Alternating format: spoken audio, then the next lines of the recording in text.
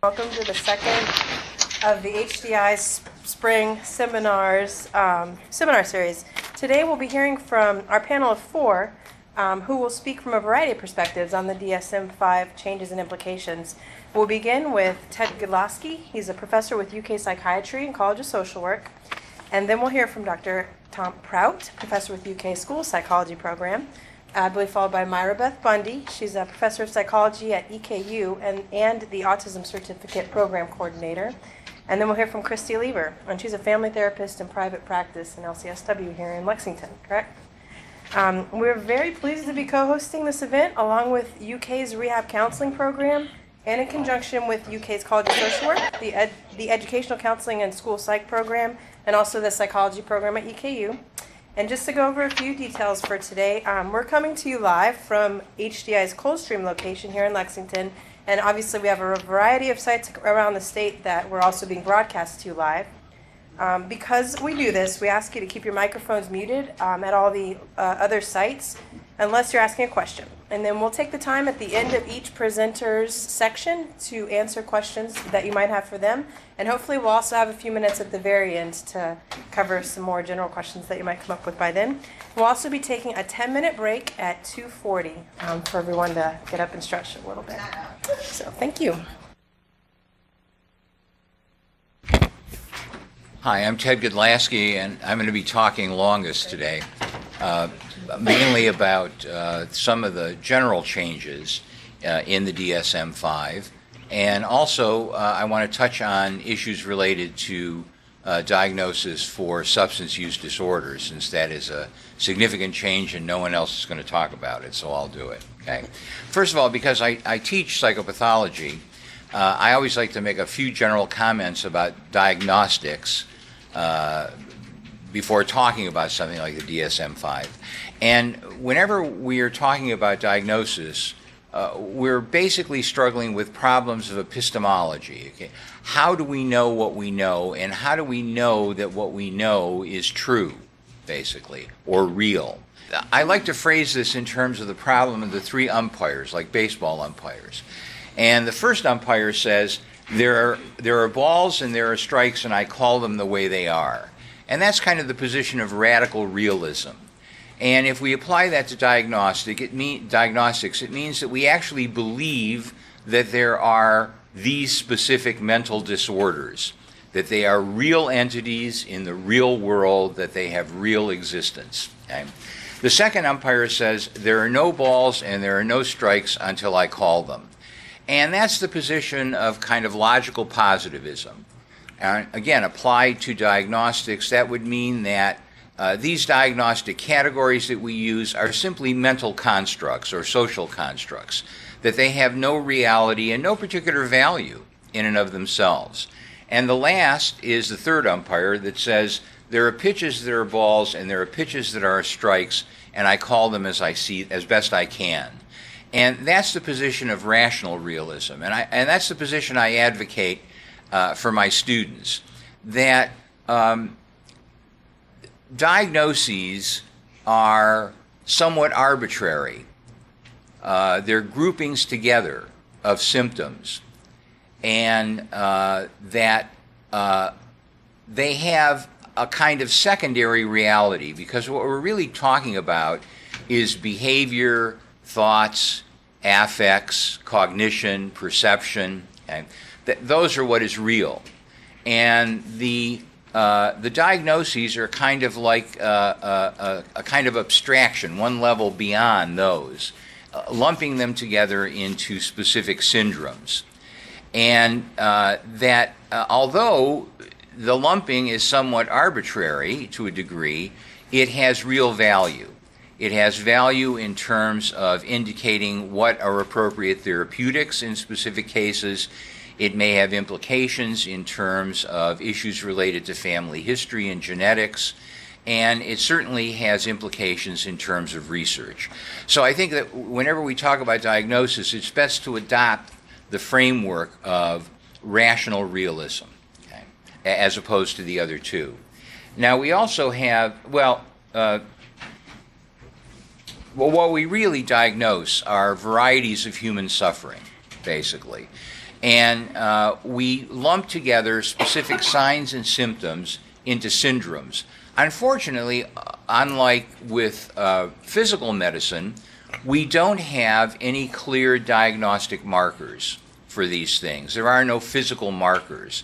There is no blood test you can take to determine whether someone has schizophrenia. You can't palpate someone's depression. Okay? Uh, and as a result, we have no real way of knowing that these syndromes are actually one thing, are actually a single entity, a single disorder. Uh, and uh, we also have uh, very little knowledge about where they come from. We have very little knowledge of etiology, and uh, we only vaguely understand how best to treat them. Um, uh, the fact is uh, that uh, many, if not most, in, uh, the fact is that many, if not most individuals, have more than one diagnosis, and we have to uh, face the fact that perhaps uh, the whole notion of comorbidity, of individuals having multiple diagnoses, and that being the fact probably more often than not, is as much the result of our diagnostic categories not being able to adequately embrace human suffering as it is uh, the fact that individuals may actually have more than one disorder. So, anyway, um, basically, a, a, problem of epistemology in terms of what exactly are these things that we call mental disorders. And we're fuzzy on that, we're vague on that because we don't have the same kinds of guideposts that uh, standard medical treatment has. Okay? There also is a problem between categorical and dimensional diagnosis. Uh, what we're used to in, in the DSMs, okay, from one through four, is essentially a form of categorical diagnosis that uh, each uh, disorder forms a category in and of itself that is more or less distinct from other categories. Categorical diagnosis serves good purpose where the members of a specific group look very much like each other and very different from other people. So, for example, if you look at the top bar in that uh, in the in the graphic there on your screen, okay, if I asked one of you to come up and point to the exact point where white becomes black, you wouldn't have any difficulty doing that because all the pixels on one side are far more similar to each other and quite different than the pixels on the other side. And there's a very clear delineation mark. Okay? The fact of the matter is, though, in much of diagnosis, our problems are not really categorical, they're dimensional. So, uh, for example, if I were to ask you to go to that second bar, the, the, the one with the colors on it, and point to red or green or yellow, you could probably do it without too much trouble. But if I asked you to point to the exact point at which red becomes uh, orange, or orange becomes yellow, or yellow becomes green, okay, it's much more difficult to do because one tends to bleed into the other, and it's hard to tell where one ends and the other begins. And that's often the way it is with diagnosis. And as a matter of fact, in the DSM 4, interestingly enough, it was left out in the DSM 5, in the introduction, it talks about the fact that there is no certitude that one disorder is actually completely distinct from any other disorder, or for that matter, that disorders are in and of themselves distinct from some variant of normal. And so we have this difficulty. And it would be nice if we could use uh, a, a, more consistent and coherent uh, dimensional approach. And the DSM 5 has tried to move in that direction. So we have in the DSM 5 for the first time a kind of touch of dimensionality. Okay? So, for example, it allows certain specifiers to be used with certain diagnoses. Okay, so you don't have to use a, a second diagnosis. So, for example, major depressive disorder with panic, or persistent depressive disorder with anxious distress. Okay? Recognizing the fact that there are uh, uh, many individuals who experience significant mood disorder, but also with very, very distinct and sometimes pretty graphic symptoms of, um, of anxiety. Okay? Uh, the DSM 5 also requires that clinicians rate severity of symptoms. In some cases, these symptom severities are rated by using some form of questionnaire or instrument. In other cases, uh, it uses a kind of table that gives kind of paradigmatic descriptions of different levels of severity. And severity, uh, I think, much to the credit of the DSM 5, is based more on functionality than anything else. However, there are also diagnoses in which you simply count symptoms. So, for example, with substance use disorder, okay, if you have two to three symptoms, you're moderate. If you have four to five symptoms, or if you have uh, two to three, you're mild. If you have four to five, you're moderate. And if you have six or more, you're severe without any reference to how functional you are. And so we have this kind of, you know, ambivalence about dimensionality, an attempt to move in that direction, but not fully or not totally. And I just wanted to show you uh, just a couple of the of the instruments that are in the DSM-5. By the way, in the previous uh, um, slide, right at the bottom, uh, that website, the American Psychiatric Association website, is a place that you can go and actually take a look at and download and print off uh, all the uh, instruments uh, for severity in the DSM-5. Uh, this is uh, the DSM-5, what's called the, the cross-cutting measure, the main cross-cutting measure, step one, cross-cutting measure. And it asks a series of questions uh, that relate to broad areas of problems in human beings. You'll notice on the extreme left, there are Roman numerals. Each of those relates to a specific kind or area of diagnosis. And then you have questions that are then answered not yes or no, but in terms of uh, frequency of occurrence for these various things. Uh, this is uh, what those Roman numerals stand for. So one is for depression, and two is for anger, and three is for mania, and, and so forth. So that uh, when you, uh, if you find that someone seems to display these kinds of symptoms, you can then move to what are called, at least in most instances, you can move to what are called step two measures, which then can give you a more precise read on whether or not the individual does have a problem in that area, and if so, uh, how severe it might be. Uh, this is the uh, second uh, step uh, level uh, instrument for depression. it's it's eight questions that are uh, rated from one to five, going from never to always. And so you can end up with a score of anywhere from 8 to 40 on this instrument. You can then go to this little scale here that helps you convert your raw score to a T score.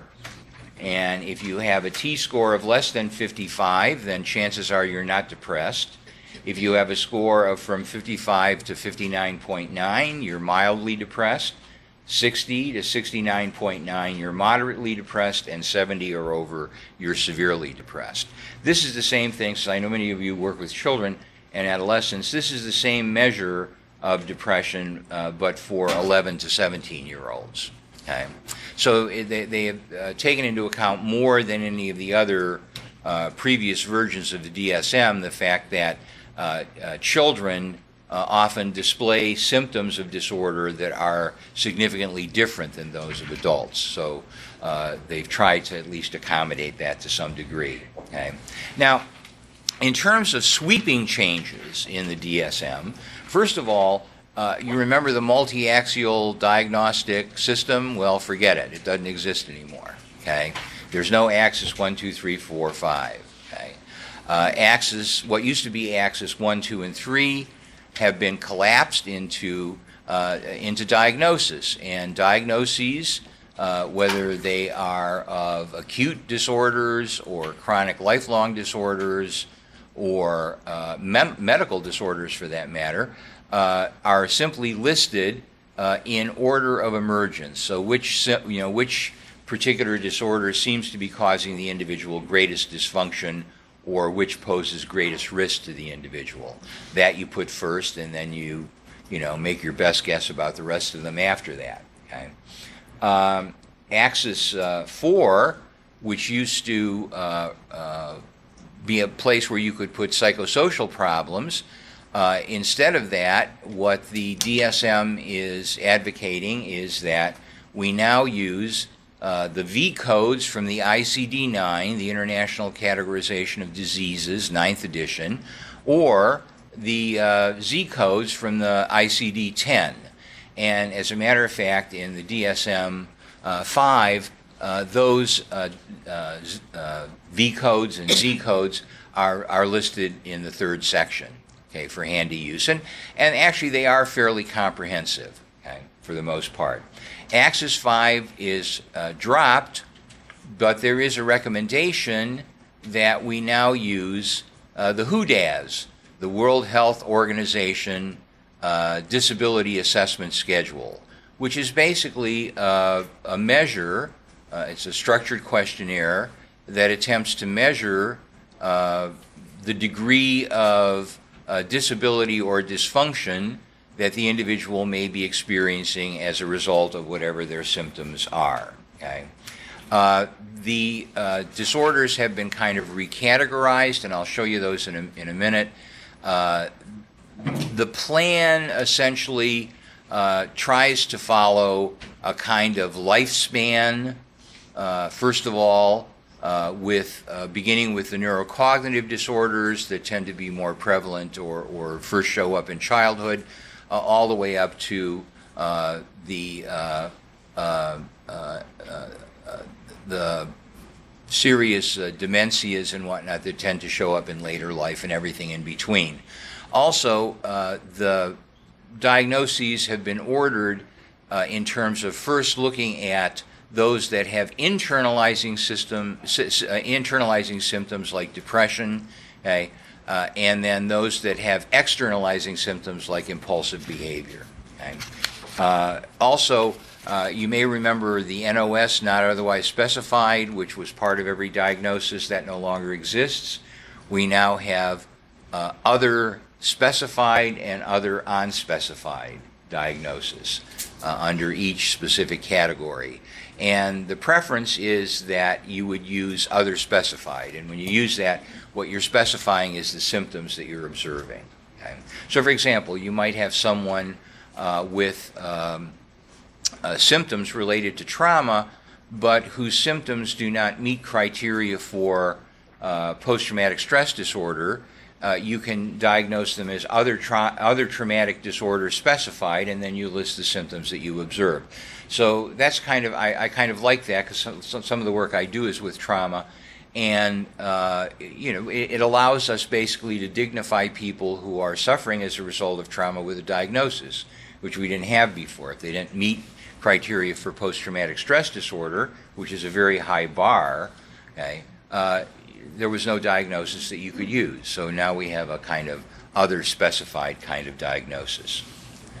Uh, this is the WHODAS. I'm just I'm not going to go through it at any great length. I just want to point out to you that it's arranged in terms of dom- domains. So the first domain uh, looks at cognition. You know, how's the individual thinking? Uh, how's their memory? Uh, uh, mobility. How well can they get around? How much are they inhibited in getting around as a result of their uh, symptoms or disorder? Self care. How well can they take care of themselves? Getting along with other people, so kind of social interaction with other people. Okay? Uh, and then life activities, which breaks into two separate domains those activities that are done around the house and those activities that are done in school or at work. Okay? And finally, uh, participation. So, uh, how do symptoms affect the individual's ability not only to relate to other people, but to relate to their own family, to participate in their own community, uh, to basically be a social being, fundamentally, a participa- uh, participating uh, social being in their own community. Okay? Now, uh, I, I'll run through these disorders very, very rapidly. I'm not going to mention many of them except to indicate where there might be some new diagnoses. We have, first of all, the neurodevelopmental disorders. Uh, uh, intellectual disabilities have to do uh, with people that have uh, problems with intellectual functioning, basically, uh, mainly uh, beginning in childhood. And uh, one of the nice things, I think, uh, about this diagnosis is that the emphasis is not on IQ, it's on functionality. So individuals may have an IQ um, 70 or below, but they are functioning very well, and therefore you don't necessarily use this diagnosis with them. Uh, other uh, individuals may have diagnosed, may have uh, IQs uh, above 70, but are doing very badly, and you might want to use this diagnosis with them. So the emphasis is away from IQ testing and onto functionality. Uh, then communication disorder, autism spectrum disorder, which you'll hear more about in a bit uh, attention deficit hyperactivity disorder. The bar has been lowered for that a little bit, and uh, it has been lowered even more when we're talking about adolescents and adults. So we should plan on seeing uh, more individuals with a diagnosis of attentional deficit disorder. Okay? Um, and then specific learning disorder orders and motor disorders. Okay, uh, schizophrenia spectrum and other disorders that pretty much remains uh, much the same as it is. There have been some changes uh, in the diagnosis for schizophrenia. So uh, the uh, uh, notion that if the uh, delusions were bizarre enough, that's all that you needed is no longer there. or if you hear more than one voice talking to each other, that that special that, those are Schneiderian you know, first level hallucinations, that you no longer uh, give that any special consideration. Okay? Um, catatonia is now its own disorder, which is new, and catatonia can also be used as a qualifier for any psychotic disorder. Okay? Uh, then bipolar disorders remain pretty much the same. Uh, depressive disorders, uh, we have here a new diagnosis which I think is an attempt to try to move practitioners away from giving uh, children and adolescents diagnoses of uh, bipolar disorder, bipolar 1 disorder. It's disruptive mood dysregulation disorder. Uh, and then uh, the rest remain pretty much as is. Persistent depressive disorder is what we used to call dysthymia, and also major depressive disorder that lasts longer than two years. Uh, the obsessive compulsive disorders uh, are pretty much unchanged. However, there is the addition uh, now of hoarding disorder. So uh, you can, uh, and I'm not going to go through the criteria for that, but you know, for, it used to be simply a, a possible secondary symptom of certain disorders. Now it's its own disorder, and there is a uh, there is a nice little, it's, it's not in the, uh, the diagnosis itself, but in the text for the diagnosis, it also indicates that this often occurs not only with objects but with animals. And we see that regularly, don't we, in Kentucky, that we, you know, have somebody that has, you know, 24 horses they can't feed or take care of, or 200 dogs, or 50 cats, or something like that. Hey, probably what we're seeing here are manifestations of a kind of hoarding disorder. Okay. Uh, trauma and stress related disorders uh, reactive attachment disorder has been broken into two diagnoses. First, reactive attachment disorder, which is the same as it was, uh, and uh, disinhibited, disinhibited social engagement disorder. So, reactive attachment disorder for, for individuals who can't form attachments or have great difficulty forming attachments to anybody uh, disinhibited social engagement disorder for individuals who too readily form attachments to people, who too easily form attachments to people. Okay. Post traumatic stress disorder, we now have criteria uh, both for uh, individuals uh, over the age of six and under the age of six.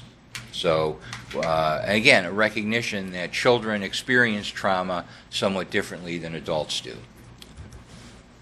Uh, dissociative disorders are still there. I'm not quite sure why. I don't think I've ever seen a case, but uh, anyway, uh, they're still there and they're pretty much unchanged. Uh, somatic symptom and related disorder. Uh, somatic symptom disorder is a new diagnosis. Uh, careful of this. It only requires one symptom. And it is, at least in my mind, almost impossible to distinguish from someone that has a serious symptom or a serious illness and is quite preoccupied about it.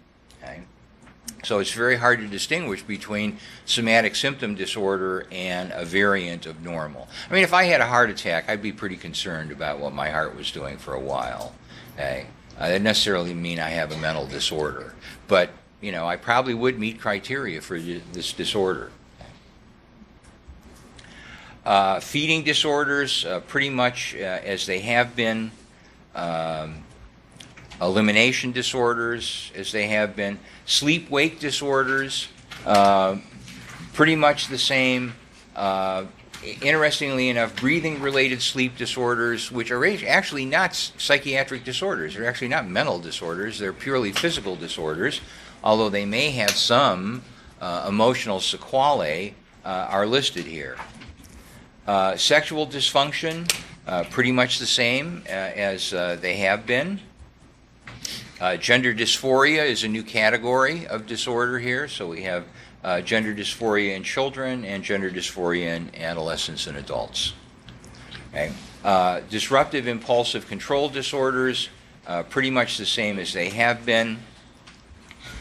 Uh, and substance related disorders, which I just wanted to dwell on for just a little bit because that's my specialty area. Uh, first of all, for substance use disorders, uh, there is no distinction anymore between dependence and abuse. It's only one disorder, substance use disorder. Okay?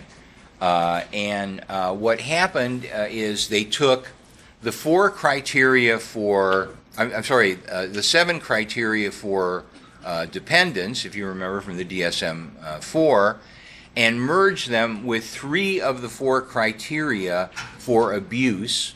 They eliminated the criteria that has to do with legal problems, which I frankly don't mind because whether or not someone has legal problems because their use of a use of a substance may have more to do with how diligently the police enforce the law in a particular community than with how severe their problem actually is.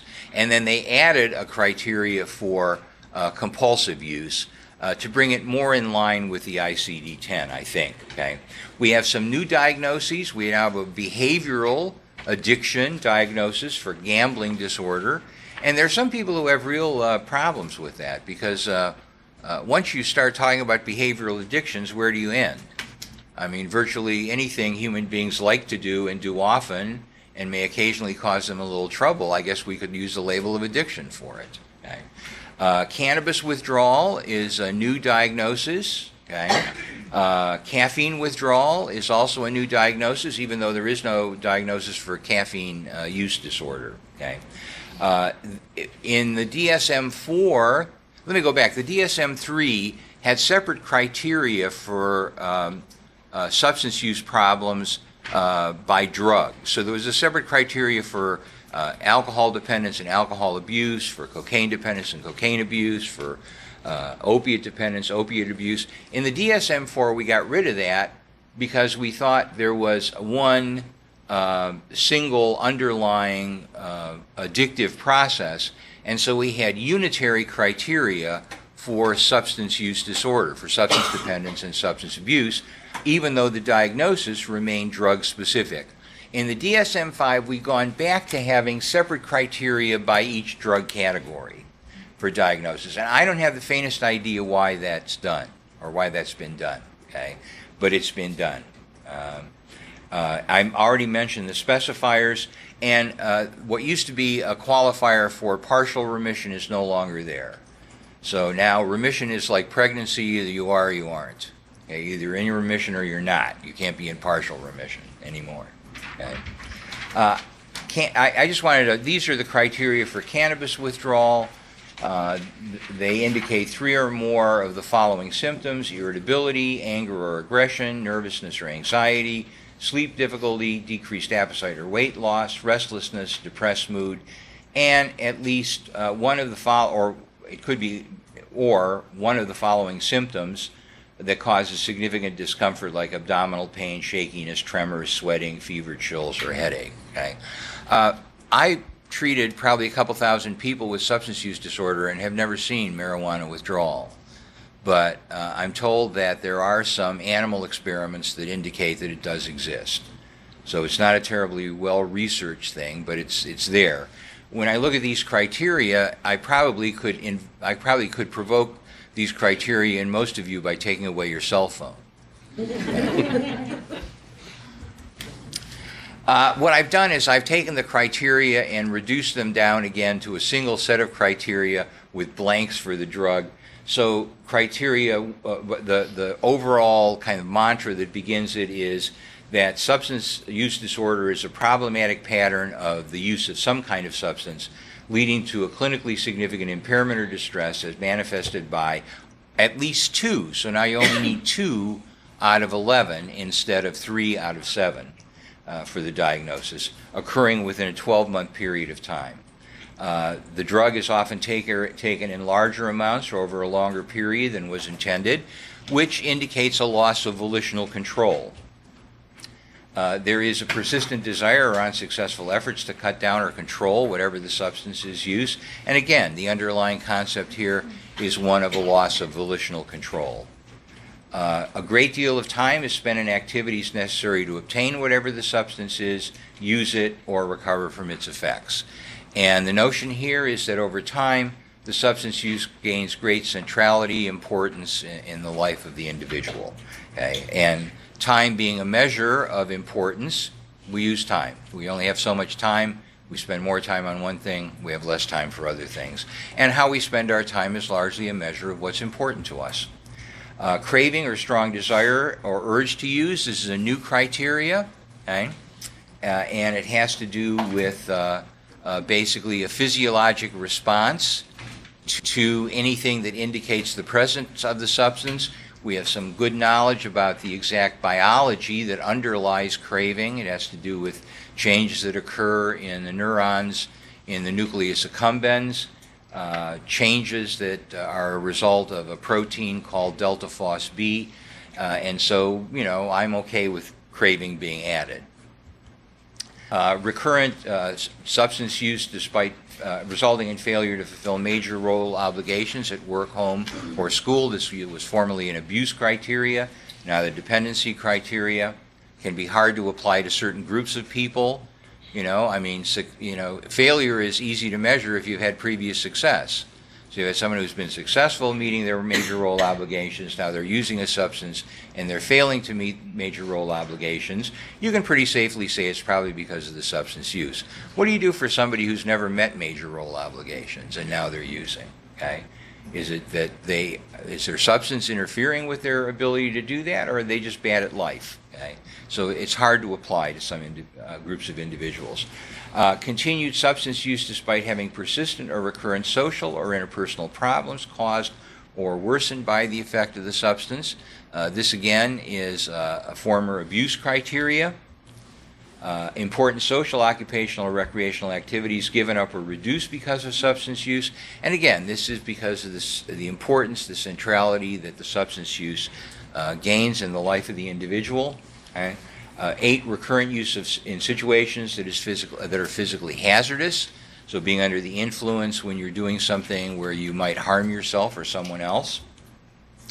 Uh, substance use that is continued despite knowledge of having persistent or recurrent physical or uh, psychological problems that have been have likely uh, have been caused or uh, worsened by uh, the use of the substance. This is one of the most abused of all the criteria. It's not about simply having a, a, physical or psychological problem caused or worsened by the substance. It's knowing that you do and continuing to use.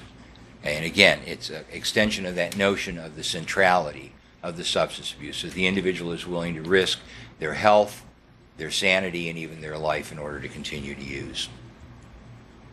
Uh, 10, uh, tolerance. Uh, which is exactly as it was in the previous criteria, and 11 withdrawal. Okay. Uh, exactly as it was in the previous criteria. I'm running uh, short on time here, so I'm going to, uh, when you print this out, you can take a look at this uh, case of a 34 year old heavy marijuana user. Okay. And what I've done is I've highlighted the symptoms and uh, even though this guy looks like a train wreck, I mean, he's not working, he dropped out of school, lost his girlfriend, has no friends, has no job prospects. Uh, given our current diagnostic scheme, uh, he would be marijuana use disorder moderate, because okay? he meets five rather than six criteria.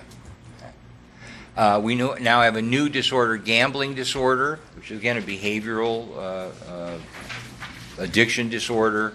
Uh, it is modeled to some degree uh, after uh, the substance use kind of disorder So the need to grant, gamble with increasing amounts of money in order to, to, to achieve desired level of uh, excitement. Uh, restless or irritable when attempts to cut down or stop gambling. Has made repeated unsuccessful efforts to stop gambling. Is often preoccupied with gambling. Often gambles when feeling distressed after losing money.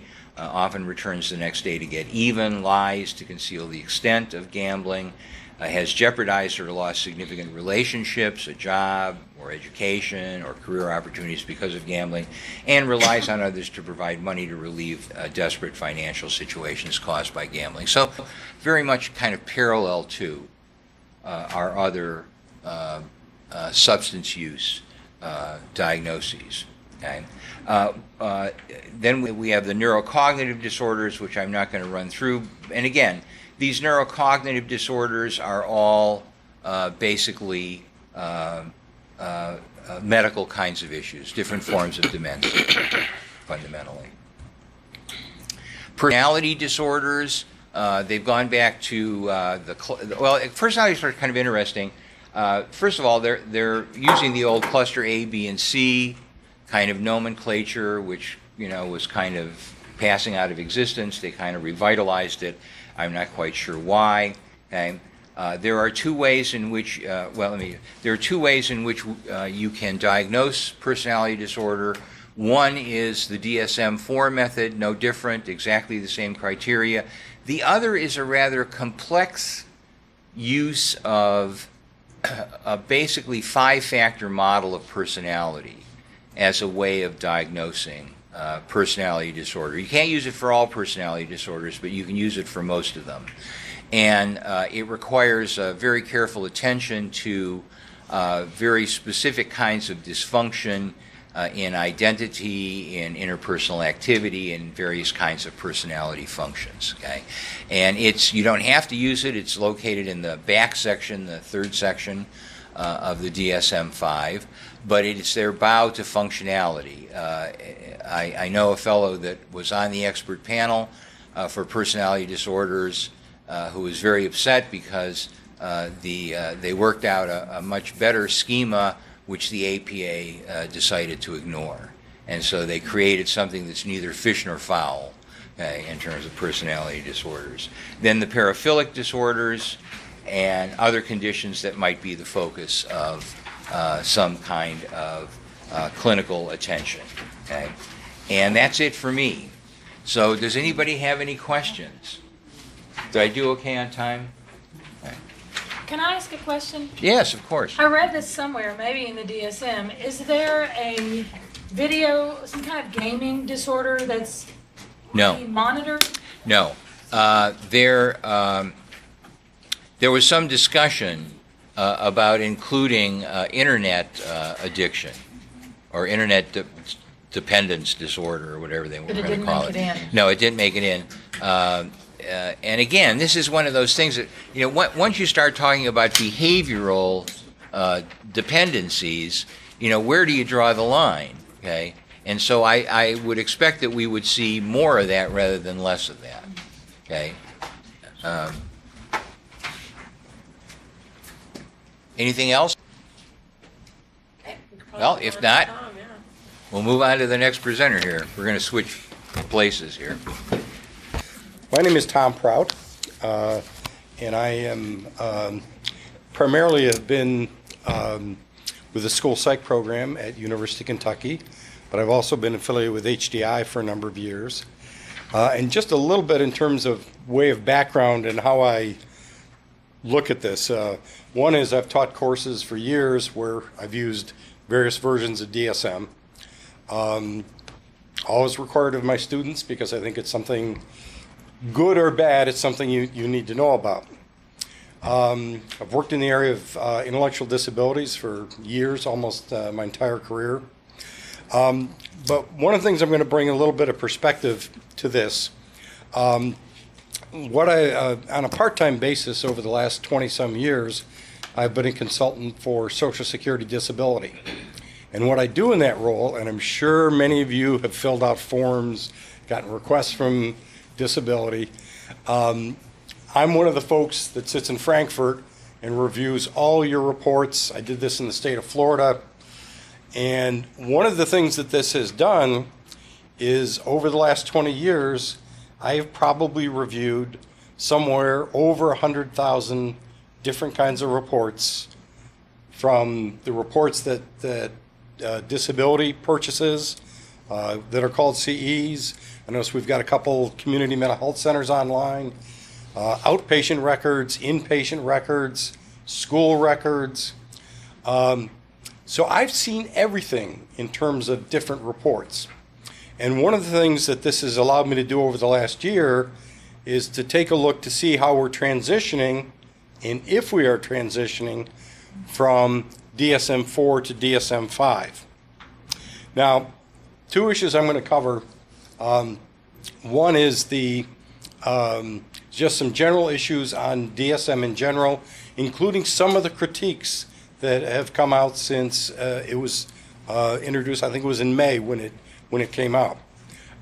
You probably will notice a few things that I'll have some opinion on. So I'll, I'll try to label what's my opinion and what I've seen. But one of the things, again, I, that I, I think I've got a fairly good pulse on in the work that I do with Social Security in terms of what's going on in terms of practice and, and, and how this is, this is being used. Okay, now as I look around, at least the folks that are here, um, I'm not sure how many of you remember DSM 2. Now, when I started in the field, this is, we used DSM 2. And let me give you a little facts on DSM 2. You really can't tell from the size here, but this is about a, a 5 by 8 booklet. And I almost have to call it a booklet. It was originally 134 pages. Now, we are at, feel like I should be church. Open your hymnals too now. Um, we are at over almost 950 pages in DSM 5. DSM 2, as I said, was 134 pages. The diagnostic section that covered all the diagnoses was 38 pages. Now, there's a lot of critique with DSM 2. There's were a lot of things that, that were written on. It was a lot easier to use. Now, I had a good friend um, when um, people were still using DSM 2 as a clinical social worker in a community mental health center. Um, and my friend's name was JT. And I said, well, JT, how do you, how do you use DSM 2? And what he would do is he would take DSM 2 with his clients, sitting across the table, give them DSM 2, say, thumb through that and see if there's anything you like. now, ethics, good practice, I, I, I don't know. It was interesting. The clients at the time were very close in picking out diagnoses, and this is not a research study, but we're very close in picking out the diagnoses that the teams came up with. Now, think of taking this, sitting across from a client, say, take this home and read this this week and see if there's anything you like. Now, I, I can't imagine doing it. A lot of critiques with DSM 2, but having said that, um, we've, if, when DSM 3 came out, which was, I think, probably about half this size, it was this mammoth expansion of, of, of DSM 2. Okay. When DSM came out in, um, I, believe the publication date is May of 2013. Uh, if you follow any of the critiques that were in uh, some of the psychiatric newsletters, this is more uh, thought pieces than, than research. It was not a happy beginning for DSM 5. There was a ton of critique. Um, DSM 5 was 14 years in development. And um, I see a couple of my students here, and uh, I'm not sure when you took the course from me, but I, uh, right around 2004, 2005, I'd say, look, I'm sorry I'm making you buy DSM 4 because the new one is going to be out next year. So 2006, I said, I'm sorry, I'm making you buy this. Well, it is now, it, it was four- 14 years uh, uh, later that it, that it came out. Now, one of the things that I've seen in practice um, are, are a couple things, and I'll, I'll talk about uh, some of them in, in, uh, in a little, little bit more detail. Um, I would say probably half to two thirds, and this is a guess, I'm not counting them at my desk, folks are not using DSM 5 yet. They're still using the, the multi axial system. Um, a lot of people still like the GAF, uh, which stands for Global Assessment of Functioning. I used to call it the Guess About Functioning. Um, and I, I think a lot of people have felt uncomfortable collapsing into the single axial system. Uh, and I'll, I'll talk a little, little bit more about that in, in, a, in a bit. Um, some of the critiques that came out, and I was interested in what you said to the person who was on the personality disorder. Uh, there was a lot of critique, and some of this is gossip. You know, it's not necessarily anything that, that uh, uh, people have, have solid foundation of. But one is that the task forces tended to ignore a lot of input from a lot of sources, and that the task forces themselves were a lot less inclusive of other disciplines. Even though if you look in the back, there's a, a lot of the uh, uh, social workers, psychologists were involved in the, the field trials, but it seems to have a much more psychiatric and medical input than previous editions. And again, I, I would tend to agree with that, but I've also seen that written written in a lot of places. Um, the non-axial or single-axis reporting, as I said, a lot of people haven't transitioned with that. And basically, what we've got instead of the the, the five axes, we've got the four, or the, all collapse into one. Now, in terms of practice things, um, a couple things I've seen because the people who have been using DSM-5, they're also loading all of what used to be on Axis 3 or the medical conditions onto Axis 1. And it's, it's, it strikes me as an awful lot of lumping. And from a practice standpoint, I, I saw a report the other day where their person had gone to an evaluation, there were one or two psychiatric diagnoses, and it listed over 15 medical conditions. And I think one of the things we have to be careful on, as, as not being physician, is make sure that we're where that information is coming from. Because if you list it on a report and you say this person has uh, some sort of lung condition, uh, and you sign the report, it, it's as if you're diagnosing it. Now, what I always advise people to do is if you're going to list the medical conditions, either make sure it's clear in your report where that came from or when you're doing your listing by patient report, by other medical records, etc. And I think potentially, if you're not careful in labeling that, um, they say, well, Dr. Prout, you're a psychologist, and you just diagnosed this person's cancer. And I go, well, it's a, it's a little side skill I have. Okay, it's not. So you've got to be very clear in the, the, the specification of that. As Ted mentioned, there's been a lot of increase in the subtypes, specifiers, severity labeling. Uh, it is a much, much more detailed um, diagnostic procedure. And there's been a lot of criticism that it's been relatively imprecise in, in terms of some of the differences and whether they are real differences. Um, most diagnoses are made with probably a half an hour to an hour mental status exam and clinical interview. Okay. Can you sort through 900 pages and get all the information with that?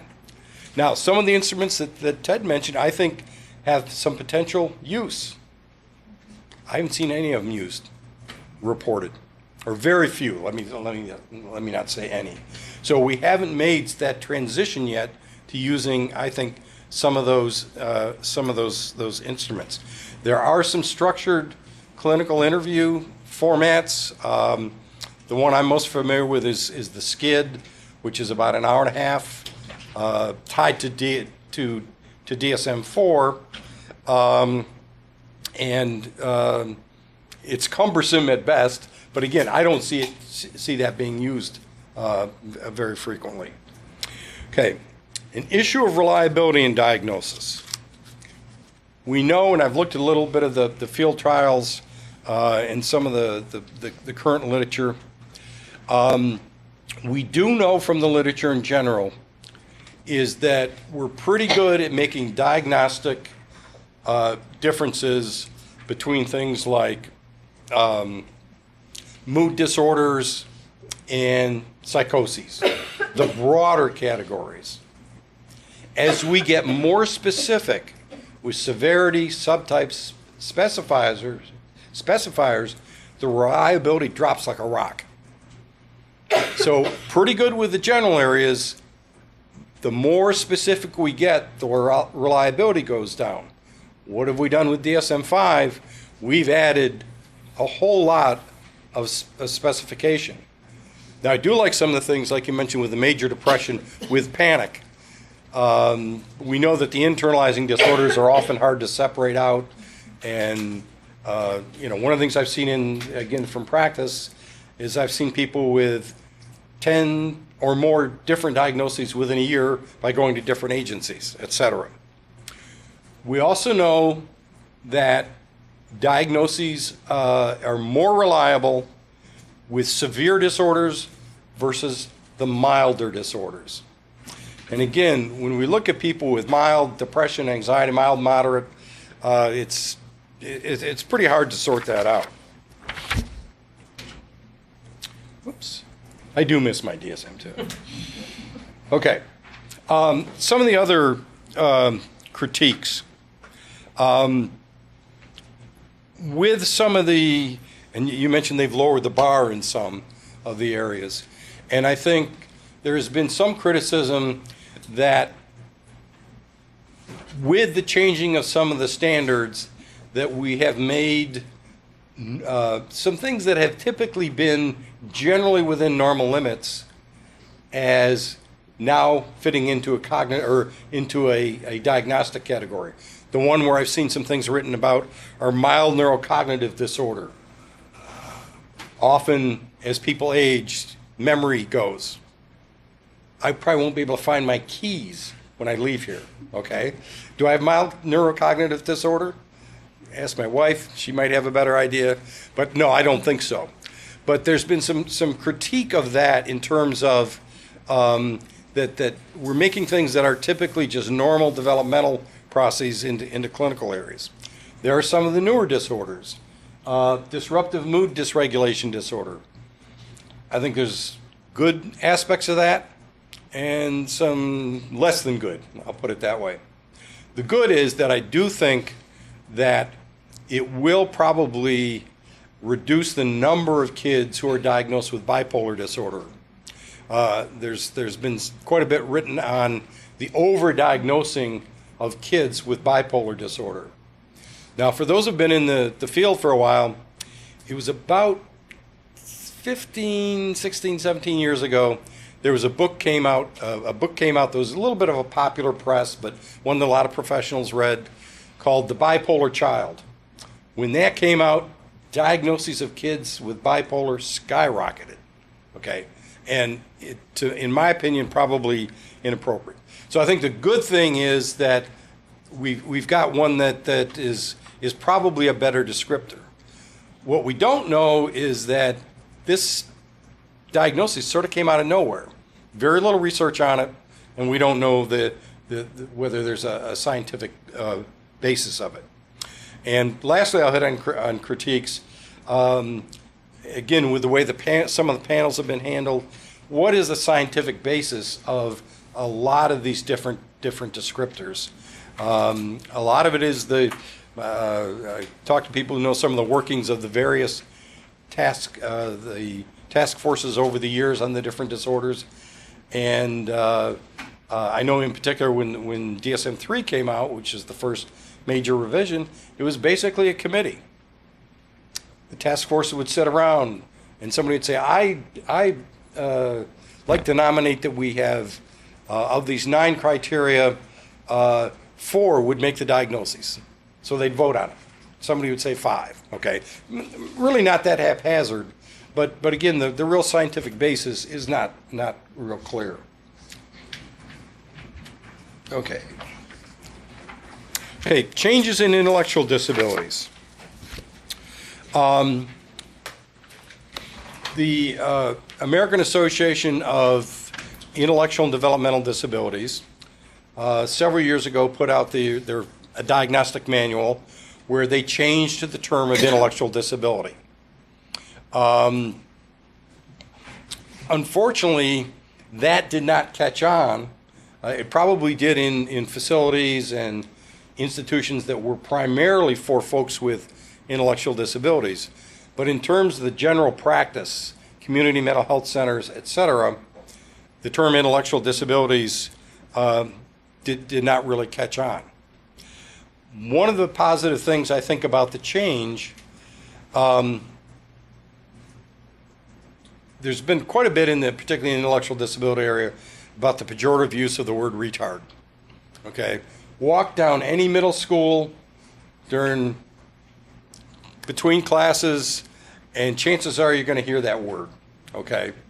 Um, it's, it's just, it's, it's uh, really become a pejorative descriptive in our uh, society.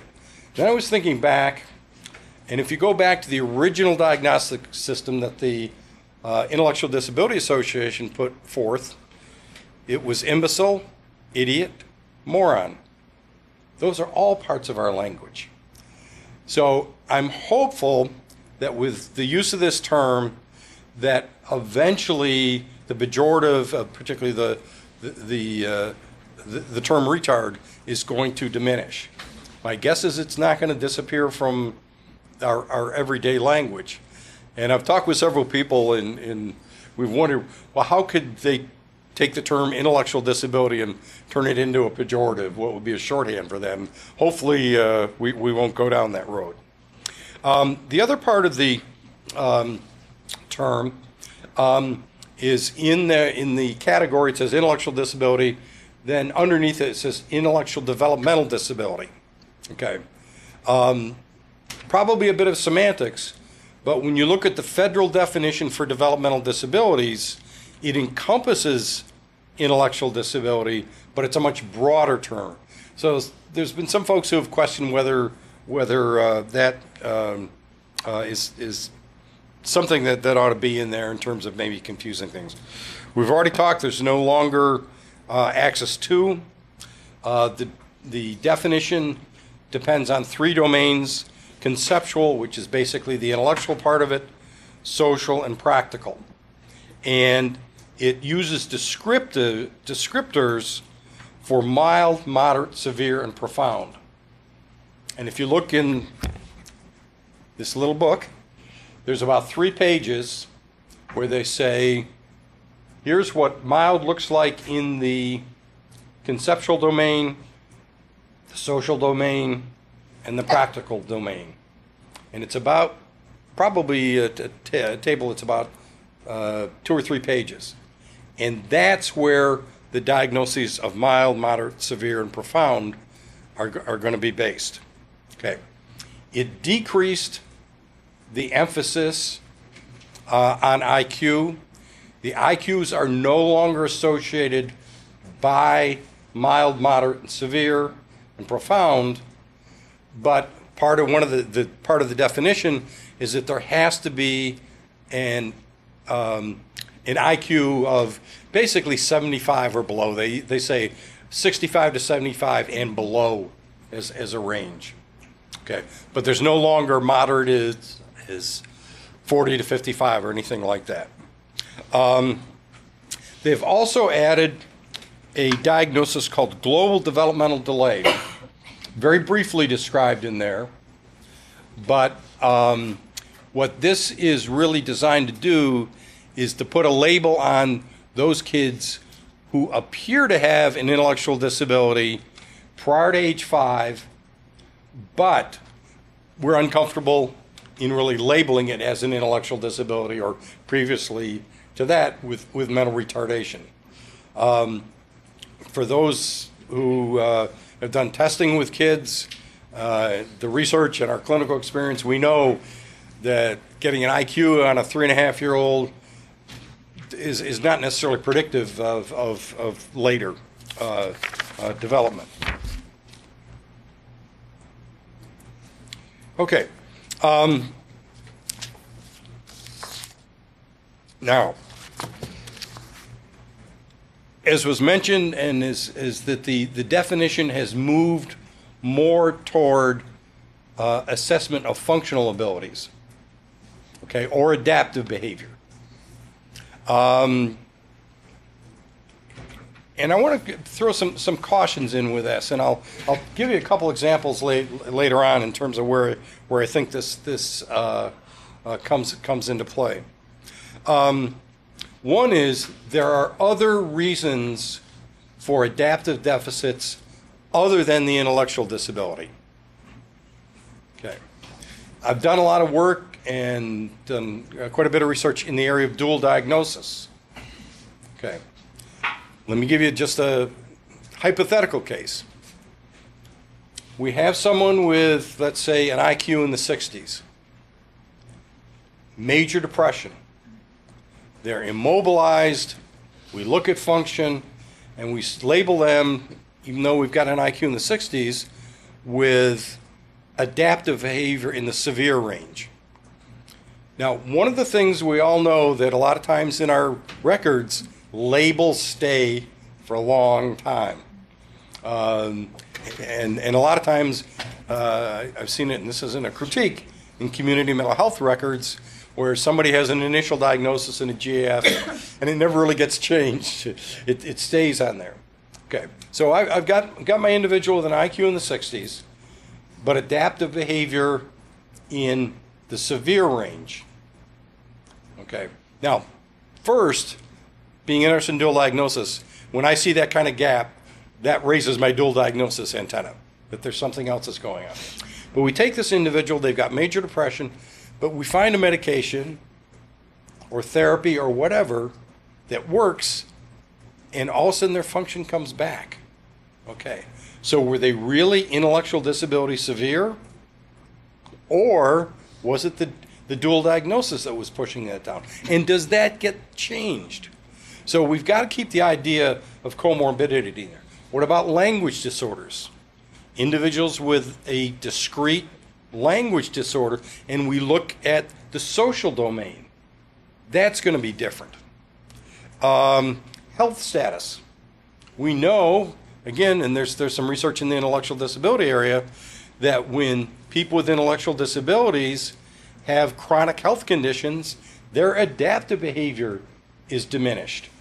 Um, with physical impairments, that can change, particularly things like mobility, community uh, access, and interaction. Okay, so there can be other reasons for the adaptive measures uh, being lower our, our functional assessment. Second thing is informant variance. Um, I know we've got a couple people working the schools here. Just for the group here, how many, how many, any others that work in the schools? Okay. One of the things I've seen is with adaptive measures, and good practice would say get a parent, one or two teachers, etc. Okay? And I have seen adaptive scores be 50, 60 points difference um, based on informant. There's some research to suggest that some of the variants in our informant measures, including behavior rating scales for typically developing folks, uh, is related more to what's going on with the informant than necessarily the, the individual that they are um, providing the information on. So we may have some unreliable um, informants. We have situational variance, home versus school. And again, for those who work with kids, you've seen things where um, you talk to the, the school and the, the kid is fine. You talk to home, kid's terrible. Vice versa. Okay. I remember a case very early in my career came into a clinical setting, and this kid was all over the place. Nobody could control him. We couldn't do valid assessments. Was just terrible, terrible, terrible behavior. So we decided we better go out and do a school visit on this kid. So we go up to, to the school, and I'm looking around, and at first I can't find the kid. And he was perfectly behaved in school. Matter of fact, there were two or three. If I was going in sort of blindly and say, "Well, let me," the two or three kids that seem to have problems, this kid wouldn't have been one of them. So we see that kind of variance. Second kind of variance we see with kids is uh, with raters is special ed teachers versus regular ed teachers. One of the things I've always liked, and I'll say for our UK folks here, that I've always liked positively about the special ed program at the University of Kentucky is that the folks going through the teacher ed program there have a very positive view of promoting positive characteristics, attributes of, of the kids they work with. Um, and so, but they're also getting a different perspective. A regular education teacher may have a kid who's causing difficulty who might be just the middle of the pack in a special ed. And again, this gets into, again, uh, I've got it in the, the next line in terms of the bias, both positive and negative. Um, sometimes there's almost wishful thinking that somebody functions better in these things, or there may be some secondary gain for reporting the adaptive behavior lower. Context, urban versus rural. Okay? Um, adaptive behavior for a kid in Louisville, particularly in some of those community and, and practical things, may be much different from a kid from a small rural town. So, adaptive behavior, and I, I like the idea on the assessment of function and adaptive, but it's it can be sort of an elusive term. There's a lot of lot of variance in there. Okay, another thing uh, in terms of the um, uh, diagnoses is that um, they've essentially eliminated borderline intellectual functioning. When, and and it's it's listed under. uh, There's been some critiques of the editing or lack of editing uh, in this. Um, when you find borderline intellectual functioning, as I was preparing for this, I said, "Well, I'm, I'm gonna I want to go see what what's written in that." It took me half an hour to find where it was. It's not in the index, and it's this page 720. Say this little little paragraph as as a V code, and for some reason they've got it listed under a heading of uh, non-adherence to medical treatment. It looks it looks like an, an editing error, but I, I I don't understand that. And I'll come back. I'll come back to uh, uh, borderline um, in in a second. Um, one of the things I've seen with the the, the practice issues, uh, particularly in lack, not really having borderline intellectual functioning as a at least a um, an apparent option is I've seen three cases recently with individuals with IQs above 70, one who had IQs in the 80s that were labeled either mild, moderate, or moderate intellectual disability. And my guess is these are, are coming from, from folks who are probably working general practice as opposed to with, with intellectual, uh, folks with, with intellectual disabilities. And my guess is that they're matching up that little tabular description.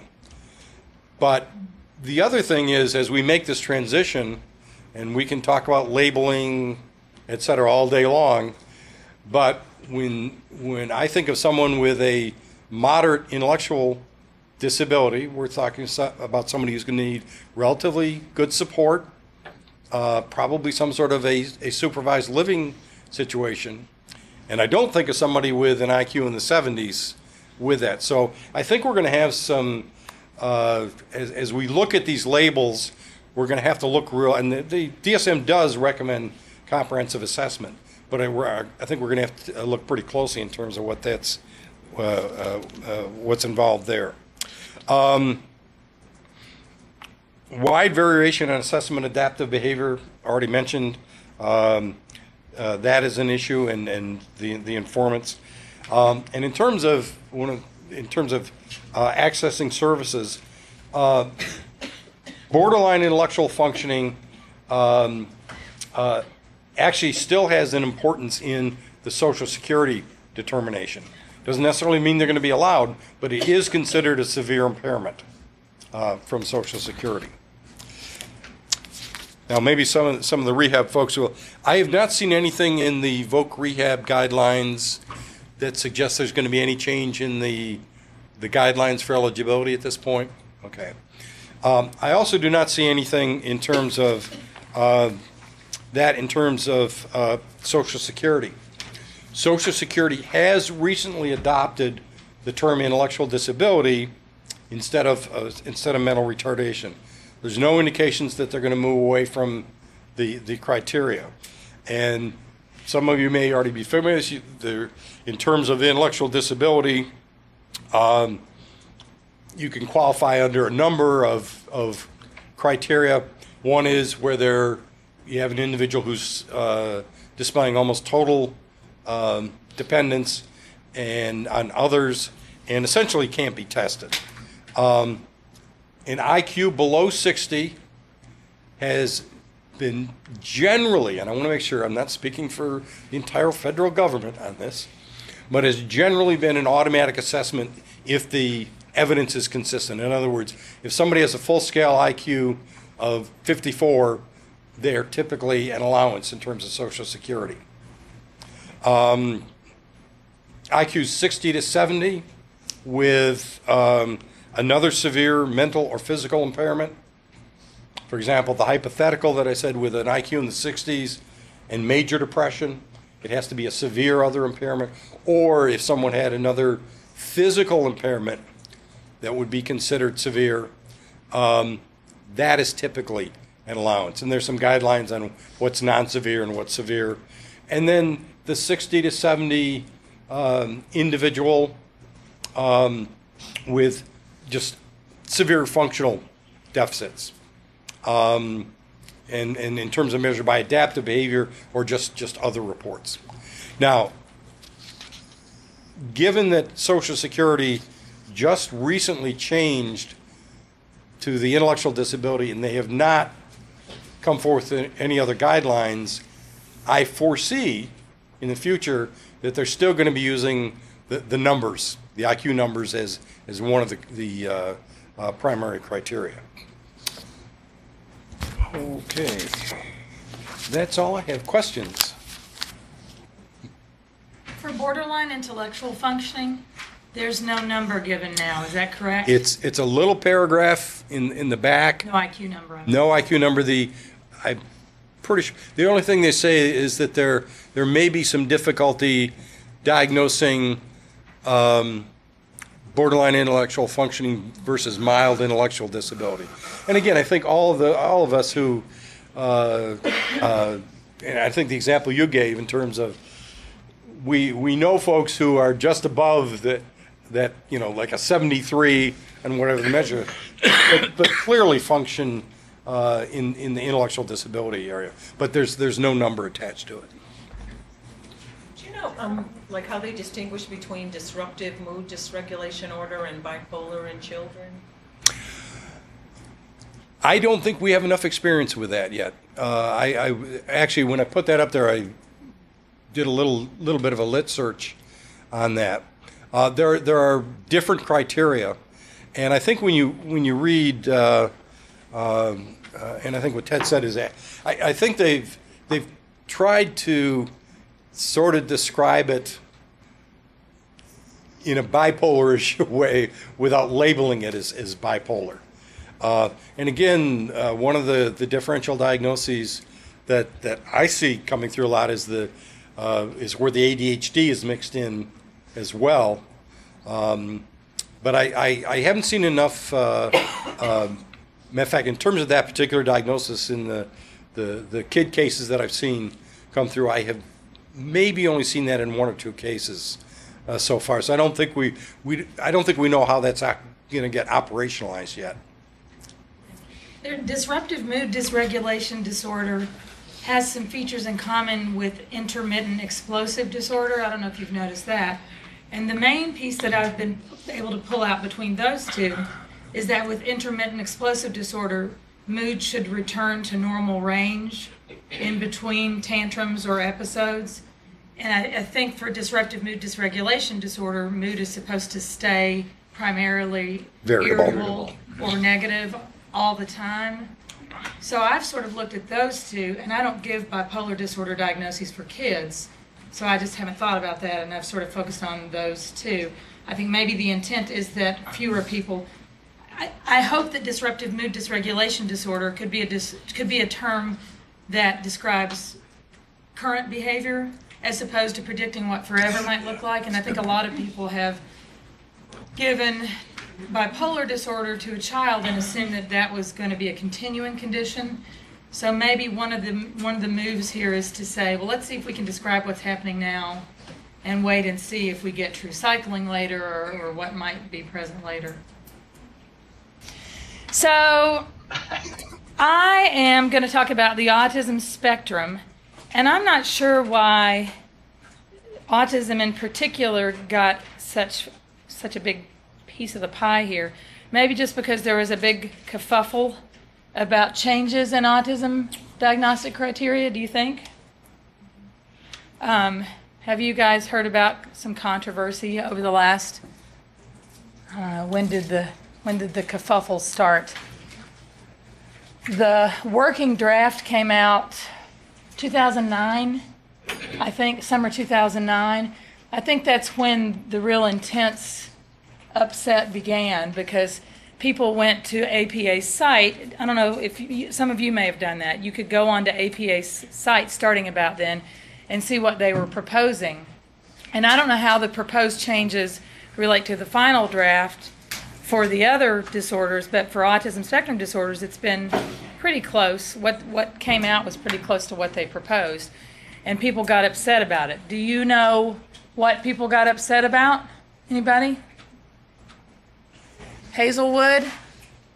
I know somebody out there does. What did people get mad about when the uh, when that working document came out? They Yes. dropped Asperger's. Okay. That was probably, there were a lot of things, but that was probably the big thing. Yeah. Um, I think Aspie's had a big grassroots network. They had a big self advocacy group. Who likes to be dropped? You know, none of us like to be dropped. If it's a diagnosis or a term, that it's a term that they had kind of taken for themselves and liked, and they didn't want it to be taken out. So that was part of it. We're, we're going to look at a couple of other smaller controversies too, but that was that was a big part of the fuss. And you know, I've sort of been. I, I think Part of it that, was they got lost in the system. Oh, here, if you want to talk. say more about it. Now I can essentially what you. happens instead of just having the diagnosis code change and the name change we also wouldn't have it like one of the major controversies was that if you were of normal or higher intellectual functioning you would have about a 50-50 chance of not being diagnosed at all whereas before you would be solidly diagnosed under either asperger's or high functioning you know uh, what do you call autism So I don't intend that to be true in my practice, but I hear what you're saying that the concern was, and we'll look at some research that looked at the impact of people with high IQs um, changing from DSM 4 to DSM 5.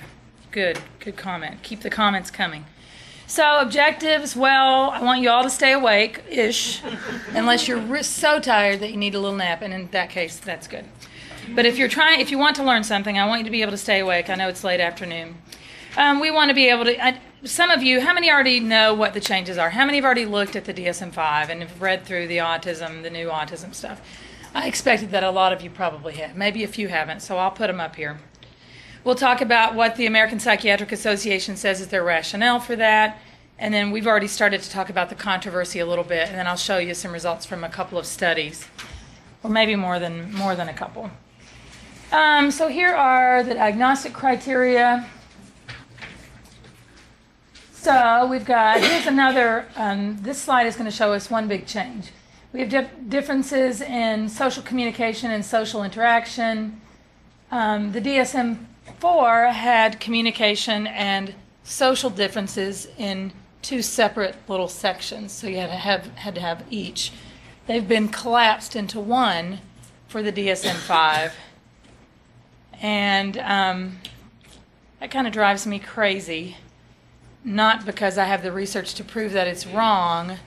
I have just been thinking about uh, sort of three core differences in autism for about 100 years, and it's hard for me to switch. I think what they found was that when they tried to reliably distinguish between these two sets of categories, social functioning and communication functioning are so intertwined that they could not reliably pull them apart, and so they did not anymore. They put them together.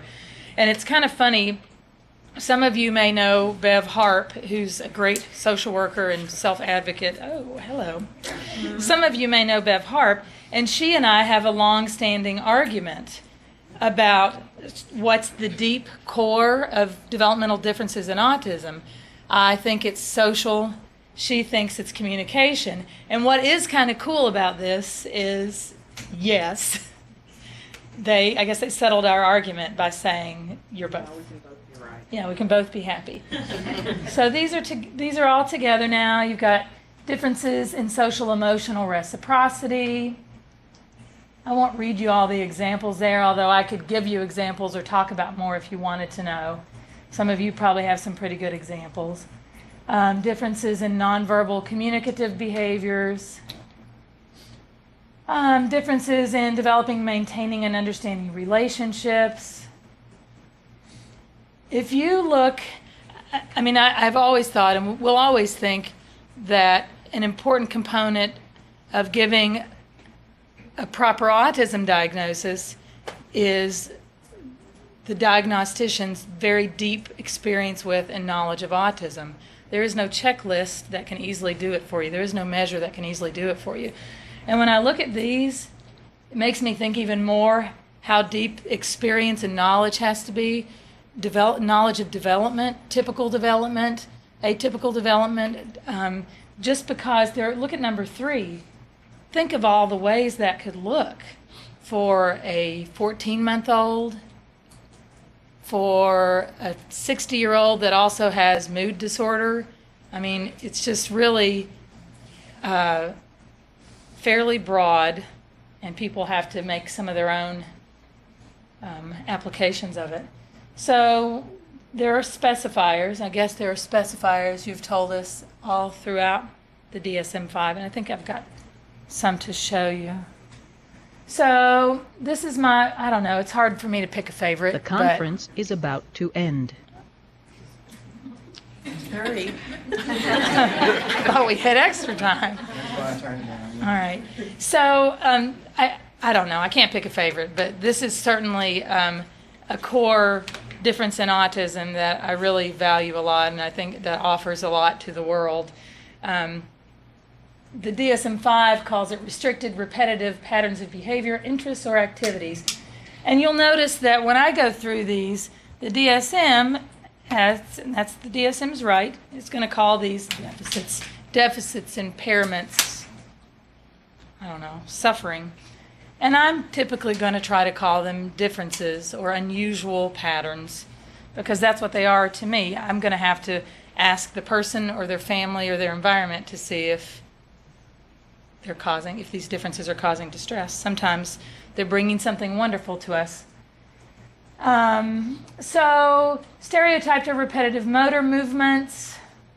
What could these look like?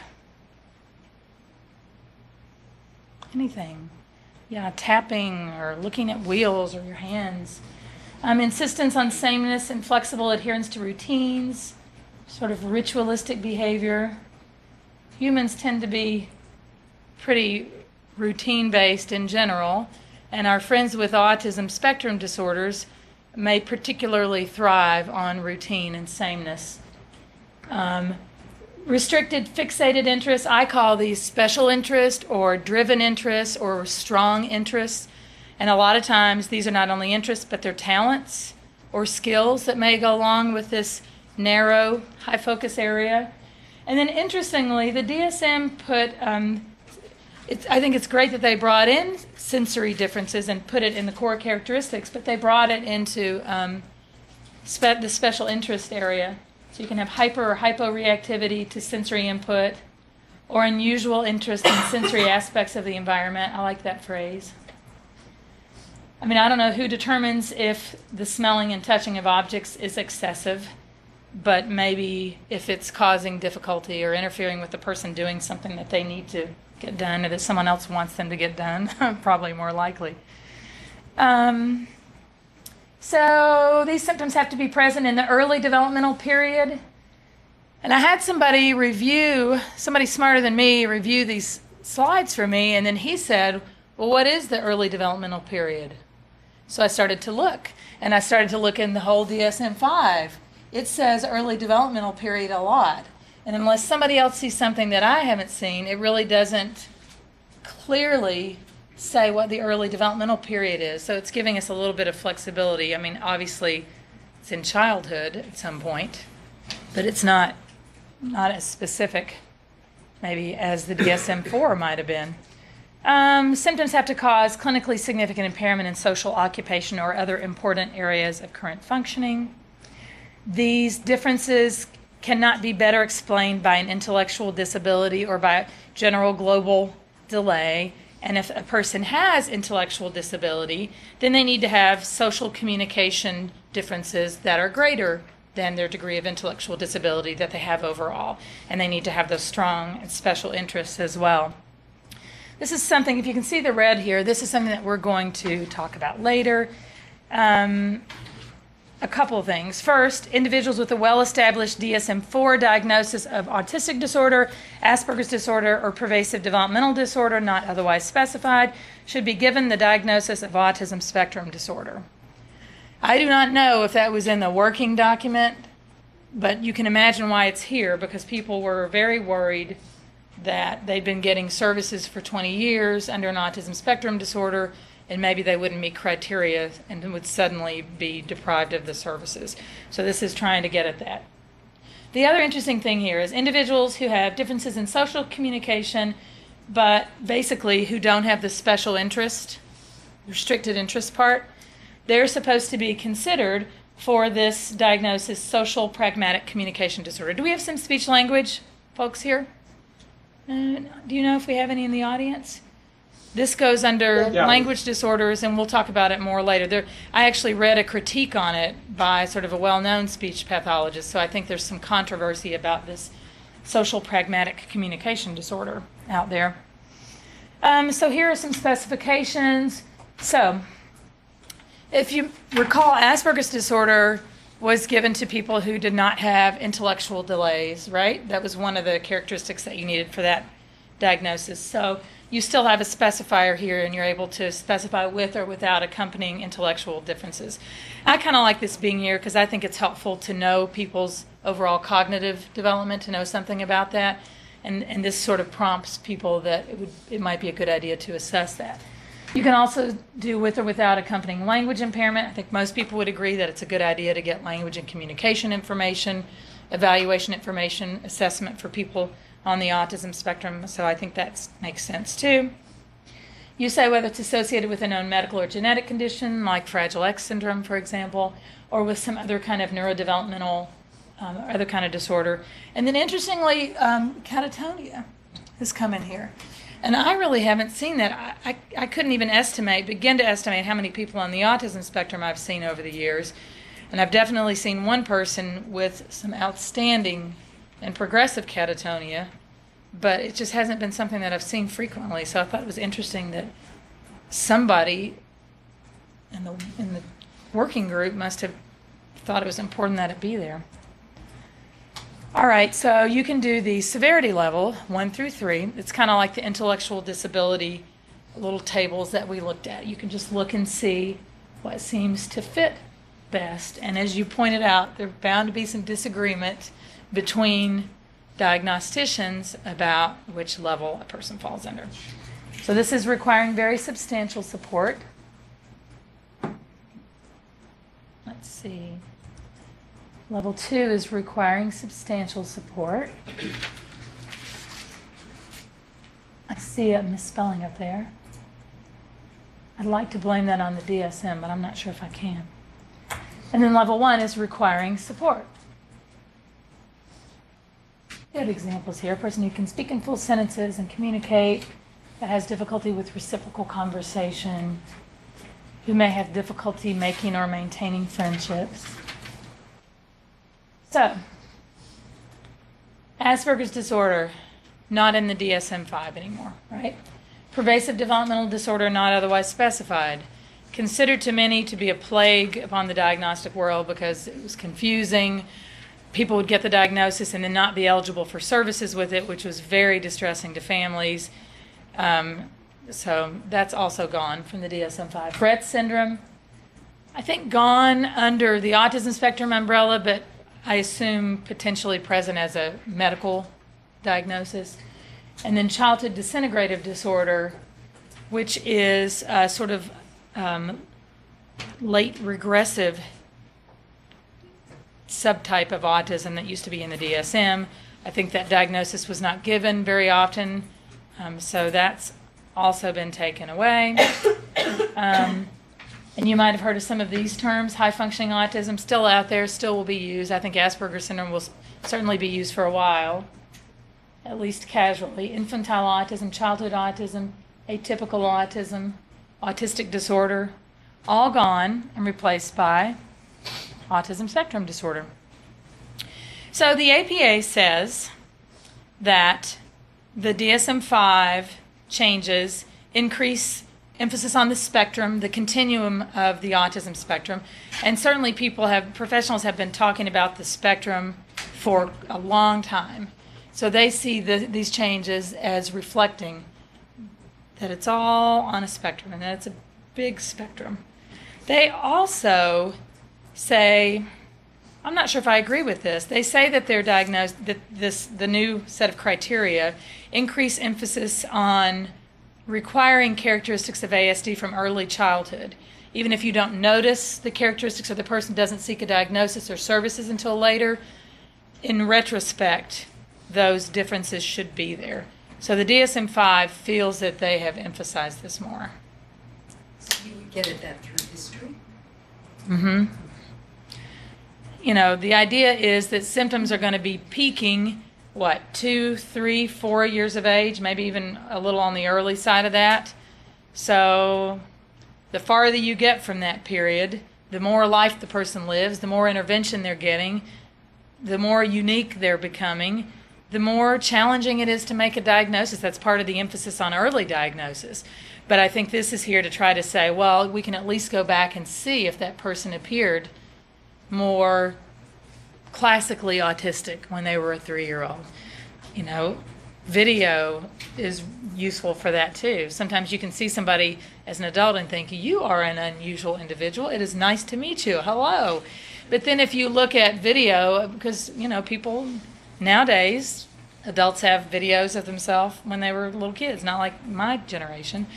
But young adults, you can look back and when they were three or four, there they are, twirling, spinning, and doing a lot of the things that are a little bit easier to recognize as falling on the autism spectrum. So I think the retrospective part is important. Sometimes you don't have anybody to interview about what early developmental history was like, but sometimes you do.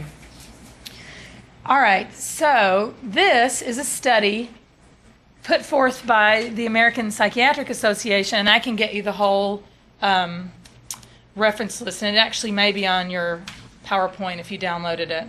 Huerta et al. Um, this is basically um, APA's study that they wanted to put forth to show that the DSM 5 is not going to massively change the set of people that will get an autism spectrum diagnosis. So they did, quote, symptom extraction from previously collected data. Um, and then they, this study showed that the new criteria still identified about 91% of children who had had PDD. The spectrum used to be called the pervasive developmental disorder spectrum. Now it's called the autism spectrum. So about 91% of those PDD kids still had a diagnosis on the autism spectrum. That's what Huerta said. But Huerta did not remain unchallenged. People didn't just write, take a note, and move on with their life. People said, I'm going to look at that myself. I don't know if I believe it. So, oh, this isn't what I thought I was going to. Well, at some point, I should talk to you about some different studies, unless I skipped them. Let me go back. Sorry if I'm giving you whiplash here. Somewhere I've got some more studies to talk about. Let's keep going and see if I can get to them. So, what's the APA's rationale for the changes that they made? I quoted for you. They believe that these new criteria represent a more accurate and medically and scientifically useful way of diagnosing individuals with autism spectrum disorders. And the work group believes that a single umbrella disorder will improve the diagnosis of ASD without limiting the sensitivity of the criteria or substantially changing the number of children being diagnosed. So, I don't know what I think about that. Let's learn some more. This is just a funny picture of uh, some people getting ready to get closed in the DSM. Who wants to be in the DSM? I guess you don't want to be in the DSM until you need something. Then you think, well, maybe I better be in the DSM if it's going to get me something. It's kind of a catch 22. So, some of the criticism that the new guidelines have taken three main questions. How about that transition from the three core symptoms to two? Some old people like me said, I like three. I've been using three for 20 years. And then the committee said, We don't care. You'll have to change. Um, creation of a single spectrum disorder rather than the group of related disorders that we had before. And then whether the new criteria are too narrow and are some people going to lose eligibility or some people that would have been eligible not be eligible for services anymore. So, okay, here's the other study I was looking for.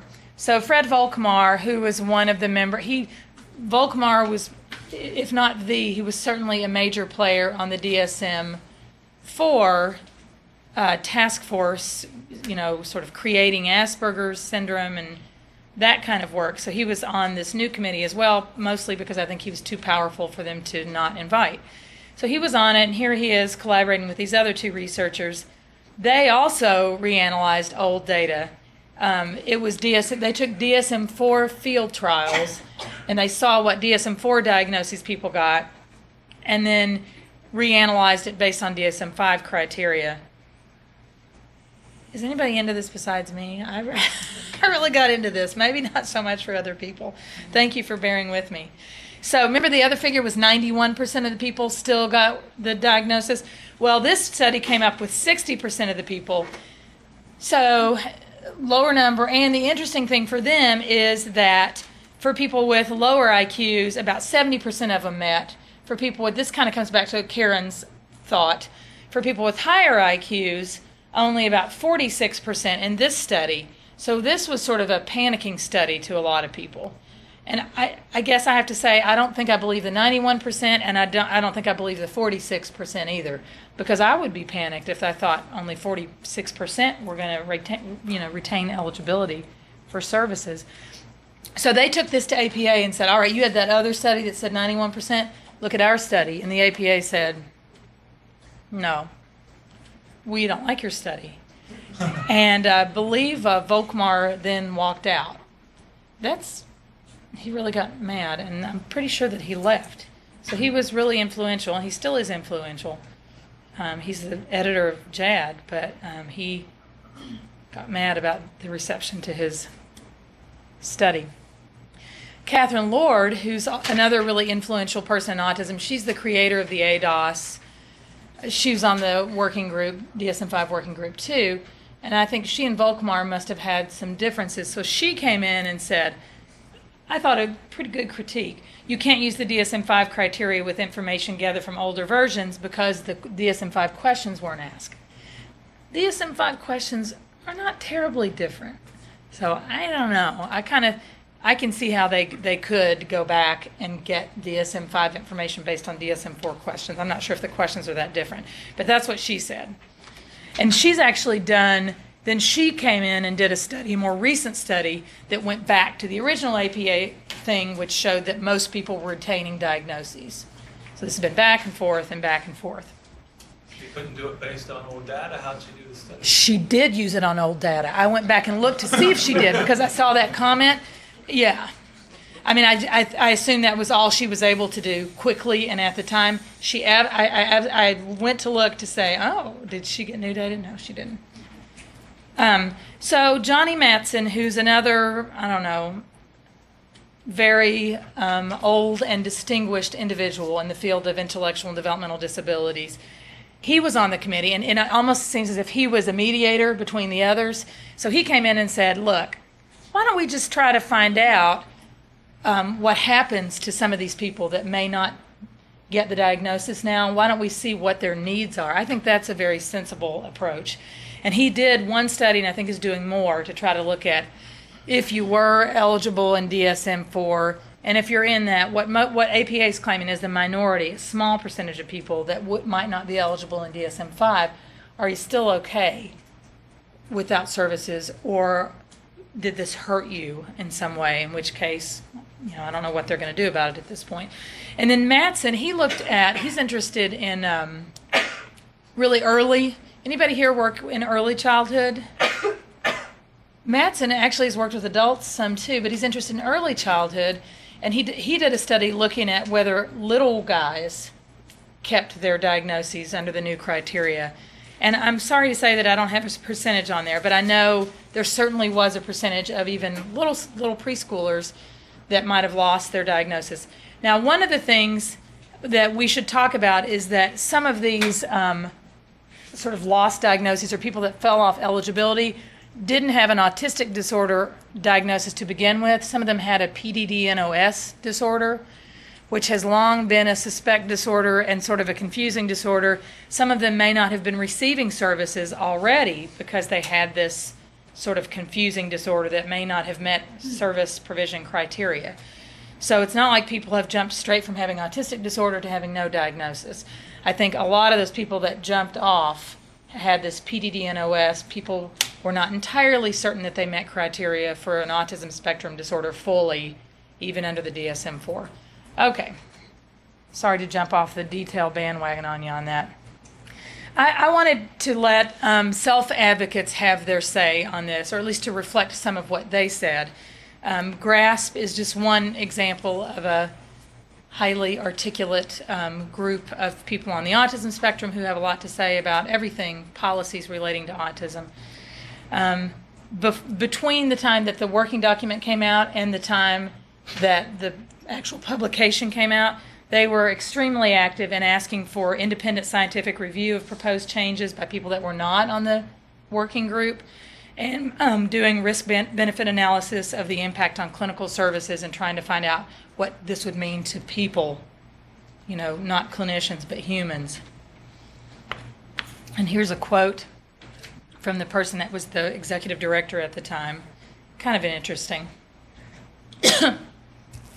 The DSM committee members speaking to the media were Kupfer Lord and Dr. Brian H. King. King says no one will lose their diagnosis. Kupfer says we have to make sure not everybody who's a little odd gets a diagnosis of autism. It becomes a cost issue. So that person just came out and said what a lot of people have been thinking. And then Lord, here's Lord again, Catherine Lord, attempted to reassure people while not denying that some will be left out.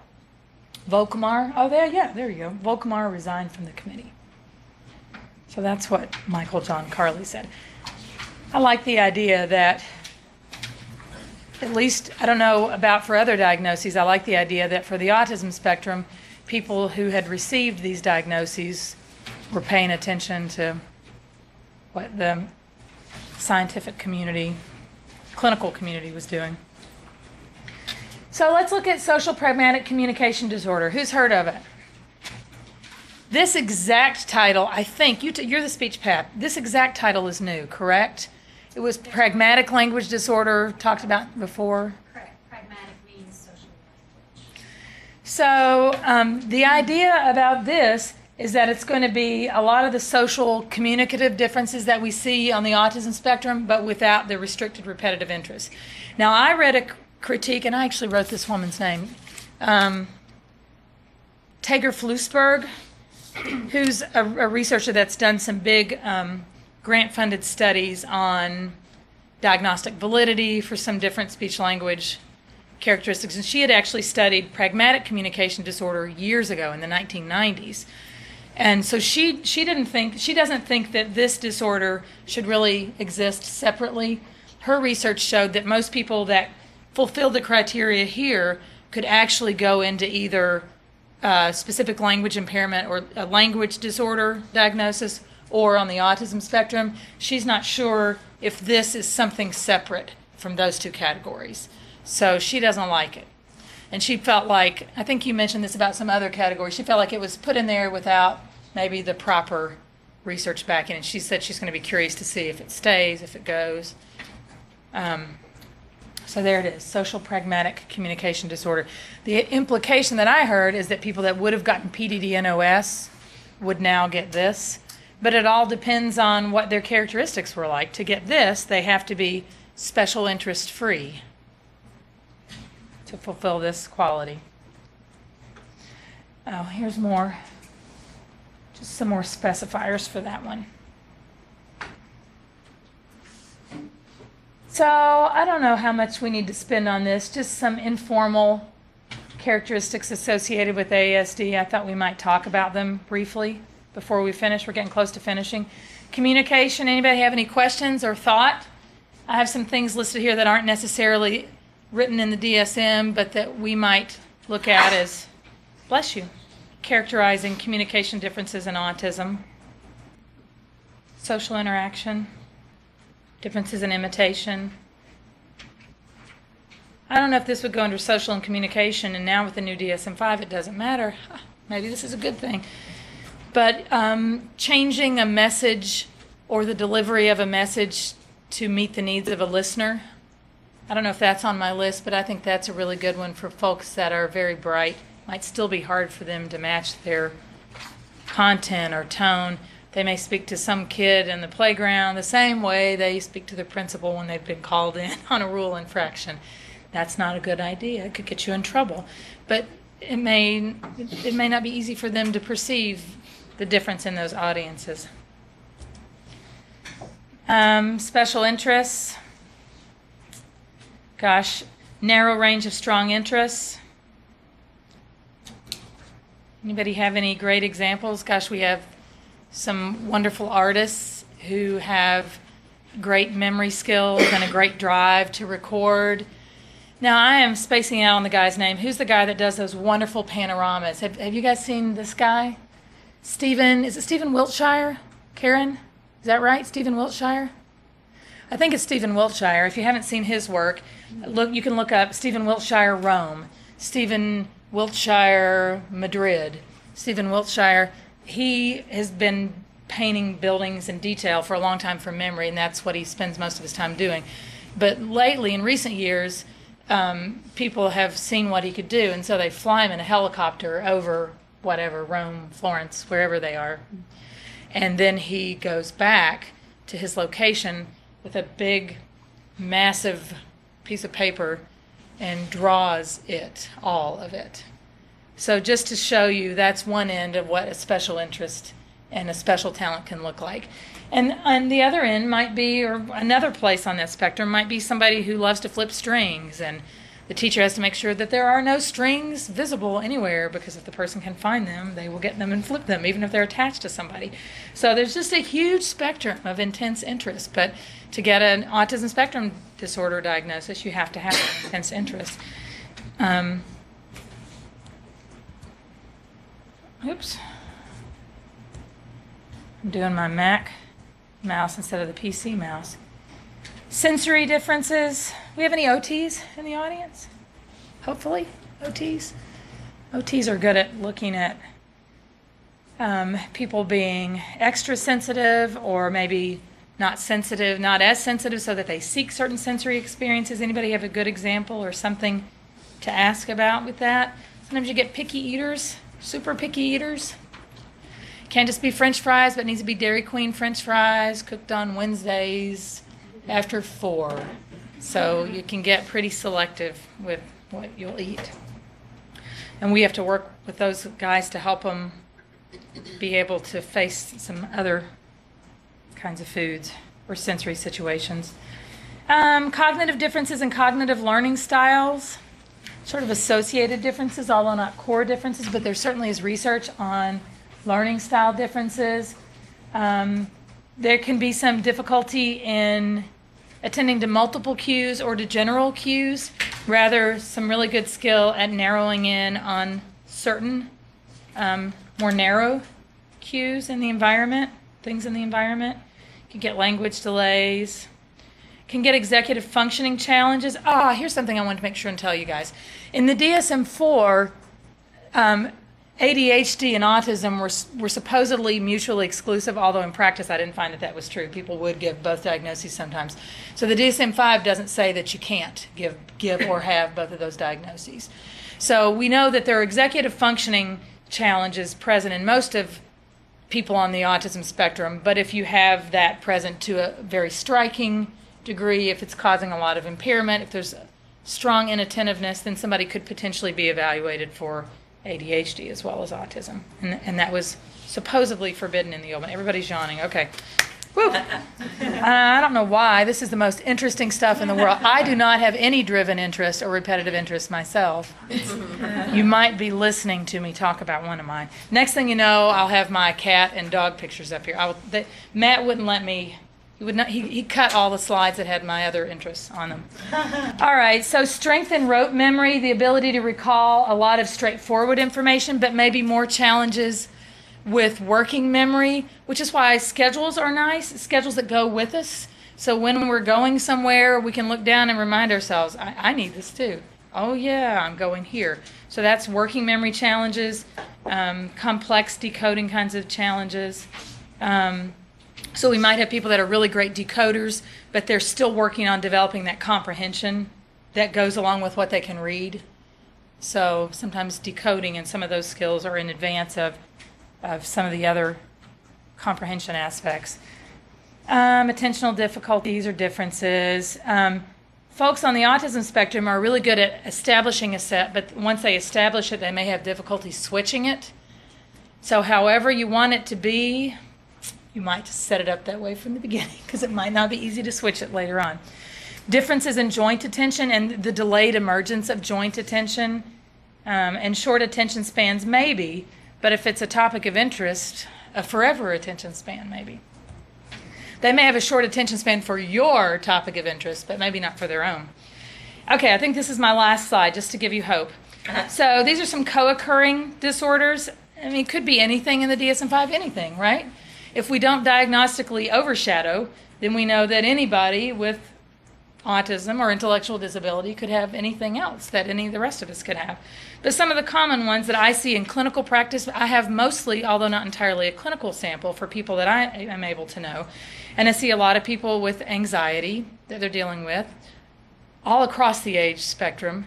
Depression um, from sort of older childhood, adolescence on, and sometimes our folks will get mood disorder symptoms for the first time in pre-adolescent kind of period, and maybe they never needed treatment for that until then, and then that comes comes to them.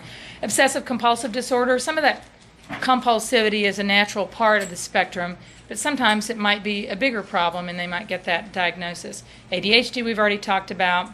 Certainly can see tics, um, can see intellectual disability at some degree of a higher percentage than typical population.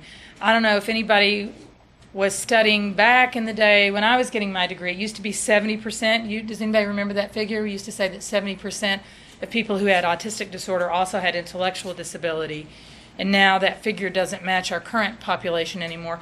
And by the way, I actually have a, throw this out as a question.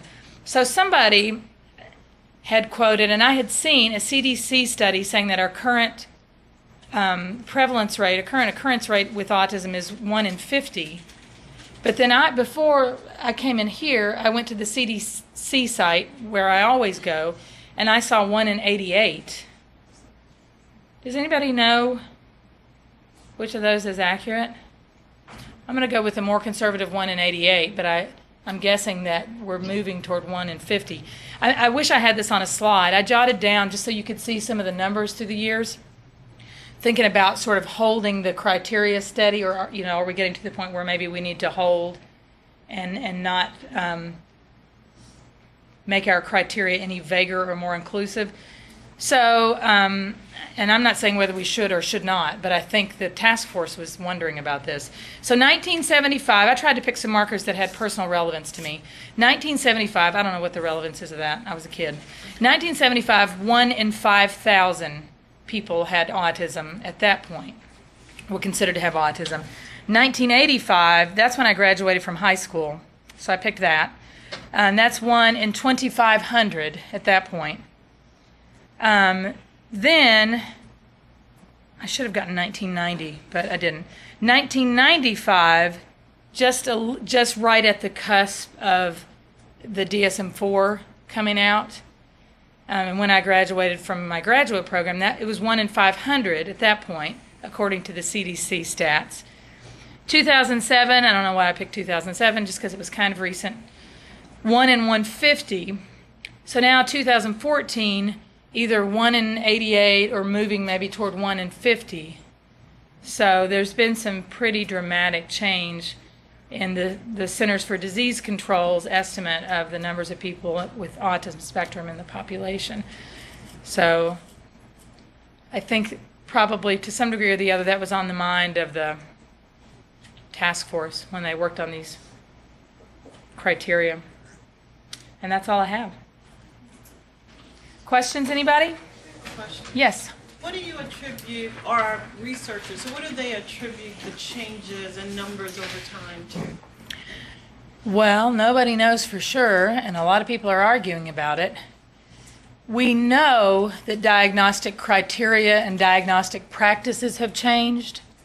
So those have changed and have become more inclusive. I mean, before Asperger's disorder was in the DSM, people really didn't expect people with typical cognitive levels to get an autism diagnosis. And even though Asperger's disorder is gone, I think that knowledge that these characteristics can be present in people with typical cognitive functioning levels um, is still with us. So definitely changes in diagnostic practices, and some people think some other type of either prenatal exposure or some sort of uh, maybe prenatal a prenatal exposure that's a trigger to some underlying genetic vulnerability. Um, complex, a lot of complex research going on on the topic. Good question. Do you think part of it's better guidelines for pediatricians to identify these diagnoses? Well, we've got the MChat, right? I'm The pedi- from years. Yeah, from from previous. I mean, I think so. I I just think I think that maybe not necessarily just clearer criteria, but criteria that are more inclusive of a broader range of people. And remember when we looked at that social communication set of criteria there could include a lot of different you know, unique developmental patterns in there, I think. Anybody else? Anybody from a distant site? Have anything to say? Anybody awake at a distant site? Are you guys texting out there? If you are, I hope you're Can you texting somebody. We can hear you. Um, yeah, I wanted to confirm the statistic on one out of 88. That's the one that I'm most recently familiar with. That's what I saw too. Do you think I made up the one in 50? Am I starting an evil, don't so. you know, gossip? But it could be moving in that direction. I mean, if you look Well, let's at how let's stick with one. Thank you for checking on that. Let's stick with one in 88 for today. Anything else? Ready for our next presenter? Hello? Yes. Can you hear? Yes, sir. Hi. Could- Uh, uh, could you speak to um, what effect that the avail- the increase in availability of funding for autism spectrum disorders may have, may have on increasing um, diagnosis and what could be considered borderline cases? What do you think, Jim? I think Obviously, you have something to think about it. Tell me, tell us what you think. We can hear you. I think you, what you see is when you have an increase in funding, there's going to be an increase in the in diagnoses and along borderline cases Yeah. um, to get the support for individuals that they might not otherwise have uh, access to. And we've talked about that with ADHD, right?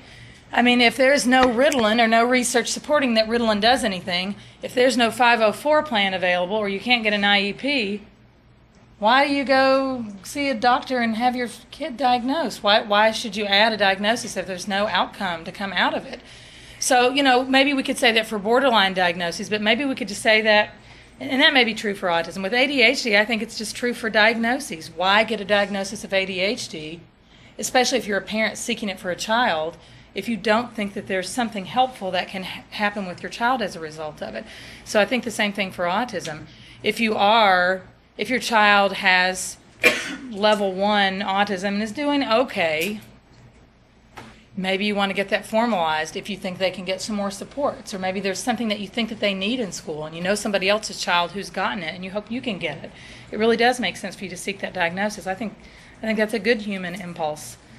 Um, and wouldn't necessarily be i think sometimes when we think about cost containment and cost issues we're assuming that everybody's going to need super intense need and want super intense services i think sometimes for Oh, good. I'm glad you guys are still out there. I think sometimes for people on those sort of borderline ranges, you know, it, it might be a quite inexpensive, very minor service that would make a huge difference in their ability to get a job or to live independently.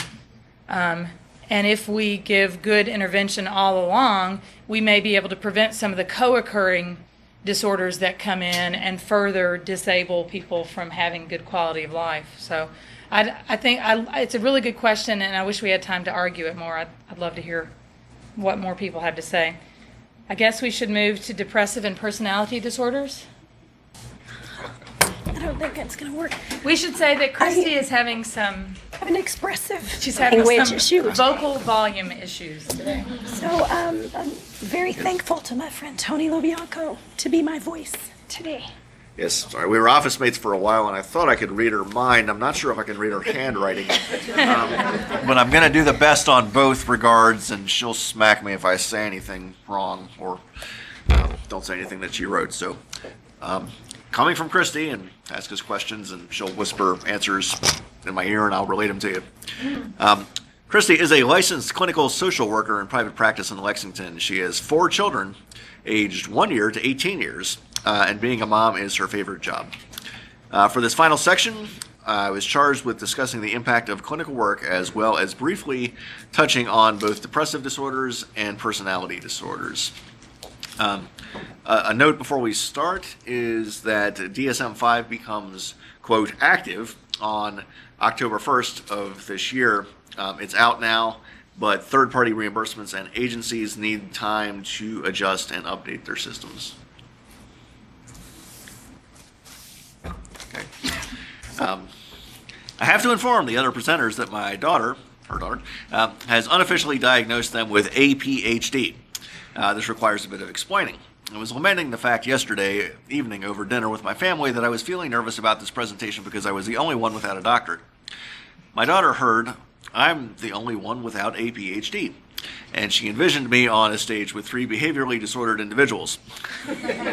and that's what happened. my, apology, my apologies, I should really say three individuals with behavior disorders, or I may lose my HDI affiliation for not following the use of person first language. Um, I am proud to share that I worked for HDI for four years as a research assistant with a great office mate. Um, um, and it is very nostalgic for me to be here today. Thank you, Mary Beth Valance, for the invitation to join this panel.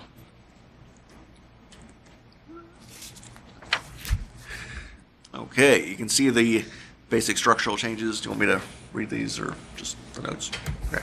Um, Dr. Godlaski uh, shared much of this information on this slide with you in the opening of this panel presentation, but I thought it might be helpful to offer a brief review as well. I won't belabor all of the points, but emphasize those that most significantly impact clinical practice. It is helpful to remember that the changes in the DSM-5 represent a researcher's dream, but a clinician's nightmare. Increasing the complexity and specificity of mental health disorders offers researchers the opportunity to identify sets and subsets of the population for further research. However, that same complexity and specificity, presents some challenges in direct clinical practice. Let's briefly run through the structural and diagnostic changes and discuss the benefits and challenges. Structural benefits. Um, Coordination with the ICD 10 allows mental health providers to keep up with trends in the medical field, not only domestically, but internationally. Work is actually underway for an IDC 11, but at least the coding in the DSM 5 will bring us up to the, the what we need currently. Arabic numerals allow for the more frequent revision with a decimal point, i.e., 5.1, um, potentially even an online revision between print versions, or frequent online revisions between print versions. Uh, this could challenge clinicians to maintain a continuous vigilance to ensure accurate coding for reimbursement and potentially offer more loopholes for insurance companies to deny claims.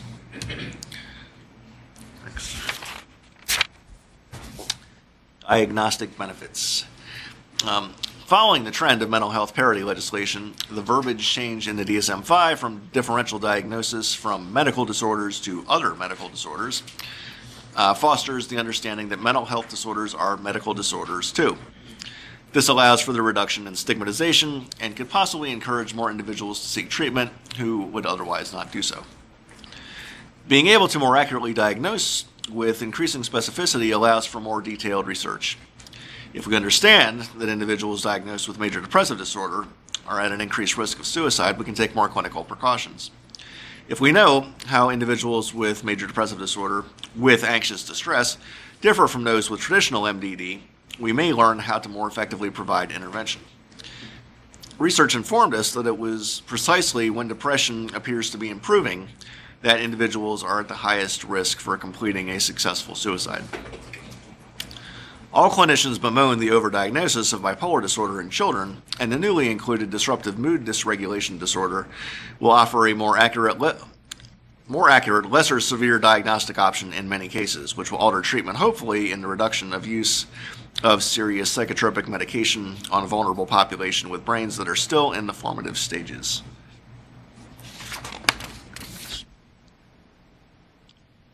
Challenges to clinical practice.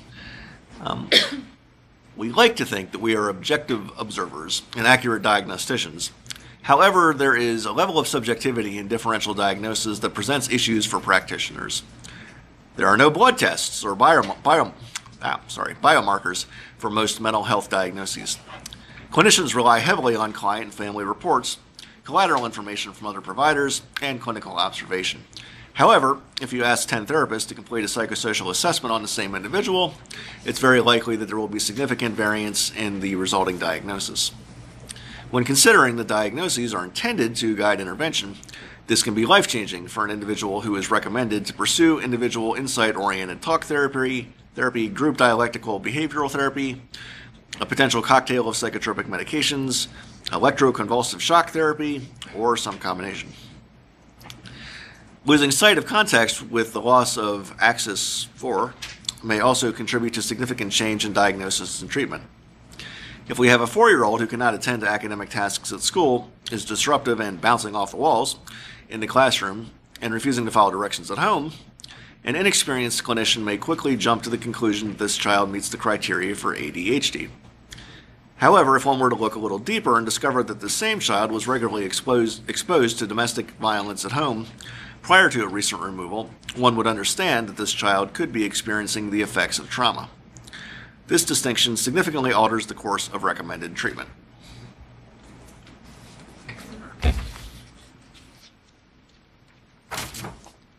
Third party reimbursement mandates an immediate diagnosis, rushing the differential diagnostic processes and preventing a thorough evaluation.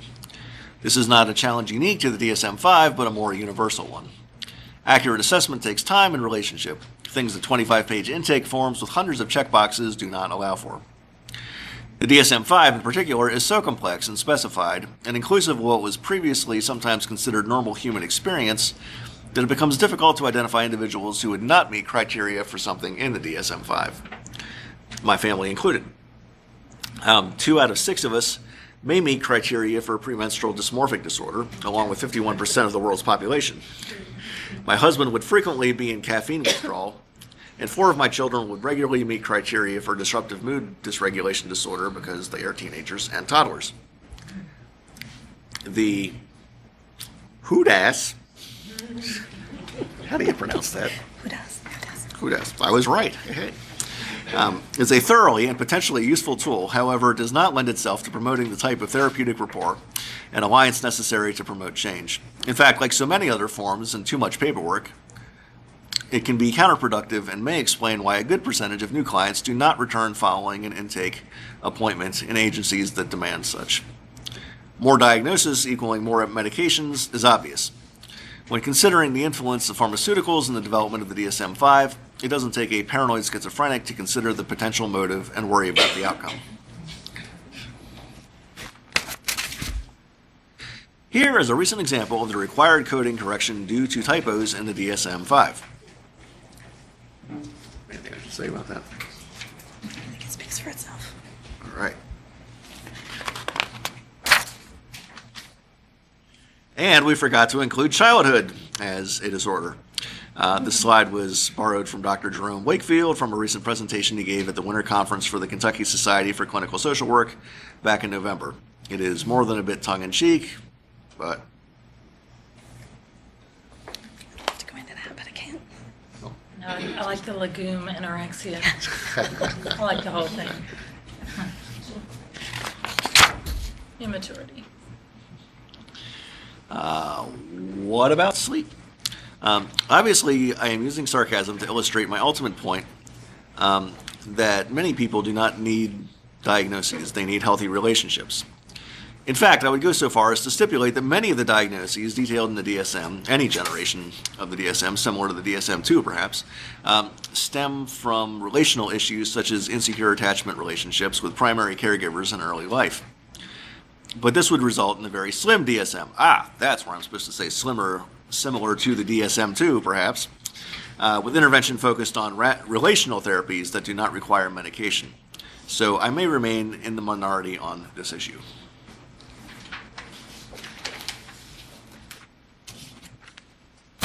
Any questions? You have any questions? Really hard for me to respond, but I can wing it. I can just totally make stuff up. um, depressive disorders. Um, we know that nature and biology do play a part in depression, that there can be a genetic predisposition in families. I wouldn't want to rule out the impact of learned behavior, but the research on depression is well established. This slide represents changes to the section on depressive disorders in the DSM 5. You want me to read slide? Okay. Um, so just reading from the slide, um, new specifier considered for major depressive disorder with anxious distress, um, irrational worry, preoccupation with unpleasant worries, trouble relaxing, feeling tense, fear that something awful might happen. right now. Like losing your voice before you have to give a presentation. Um, addition of disruptive mood dysregulation disorder, addition of premenstrual dys- dysphoric disorder, uh, addition of persistent depressive disorder. Can we speak about this being an upgrade from the back of the book to the front of the book? Ah, yes, I'm supposed to mention that um, the addition of the premenstrual dysphoric disorder is an upgrade from the back of the book to the front of the book. Now, can anyone tell me what that means? I can't either. Um, I was hoping someone could. In uh, DSM four, the back of the book had uh, conditions requiring further study. And in the DSM-5, uh, premenstrual dysphoric sy syndrome was promoted up to the big kids table, onto, uh, uh into the regular diagnosis. A good friend of mine said that uh, they should have come up with, uh, what, what do you call it, um, testosterone deficient dys dysphoric disorder for men. we can make a parallel with that in DSM-5.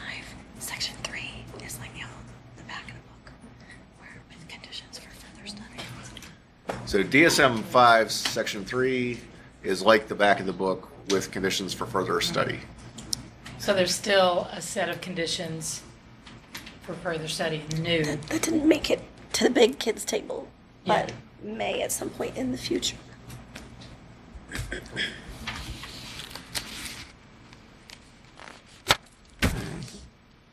Um, just read this. Sure. Okay.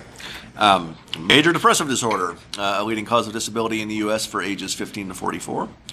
Um, five of the nine symptoms have to be present for more than two weeks. Required for diagnosis. Okay, re required for a diagnosis is that five of the nine symptoms have to be present for more than two weeks. Um, you want me read through all these? Not necessary. Okay. Well, you can read them. Uh, bereavement exclusion has been excluded from the new DSM. Um, elimination of the bereavement exclusion. Uh, the argument for doing so is that the risk of suicidality with underdiag risk of suicidality with underdiagnosis. Okay. Missing people who might otherwise meet criteria. Oh, missing people who might otherwise meet the criteria. Um, major depression is a potentially lethal disorder with an overall suicide rate of about 4%. And research has demonstrated that the highest risk of successful suicide is exactly when clients begin to improve. Um, the argument against doing so is that it may pathologize normal experience. Um, grief may last for many months, and there may be other life stressors that, I guess, just get you a diagnosis when you really aren't suffering from that.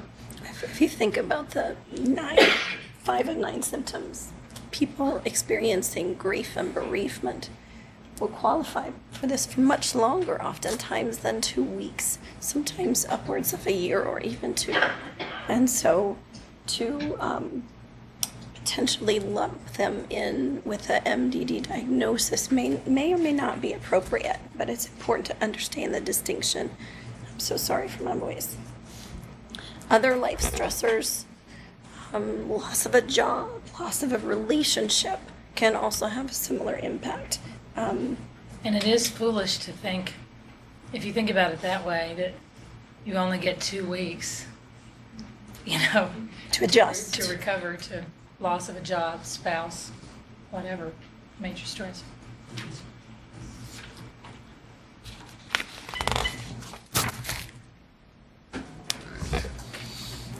Personality disorders um, represent an quote enduring pattern of inner experience and behavior that deviates markedly from the expectations of the culture of the individual who exhibits it.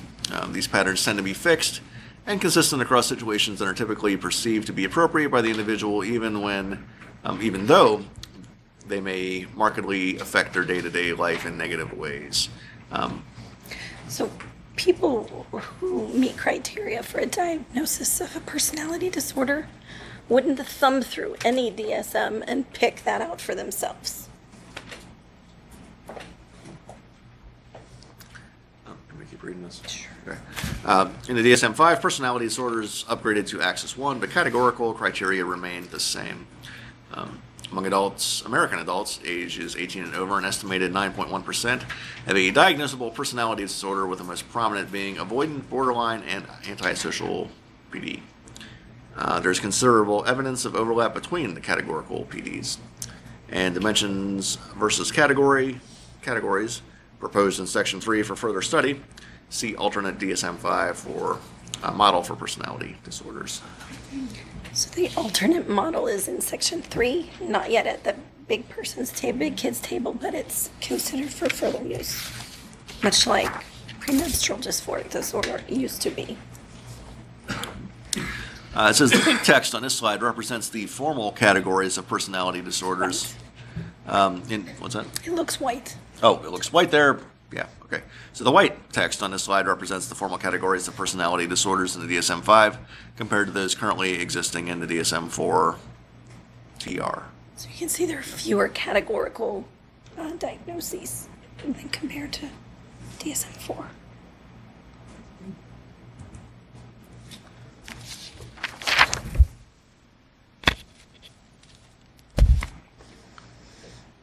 Um, okay. As with many sections, there was considerable dissent among members of the committee charged with the review of personality disorder. Uh, historically, additions to the back of the DSM often are upgraded to the main section in the next edition. Um, the hope here was for both sections to be useful for research and clinical work. Personality functioning and personality traits are helpful indicators even without a diagnosis of personality disorder. Can we talk about this one? Oh, okay. Um, allows for the, is that the one? section 3 allows for S- Section three, it, it allows for the understanding that there's often, we could say, a comorbidity of more than one personality disorder or traits that are mixed between them, and it's tough to pin down what categorical diagnosis.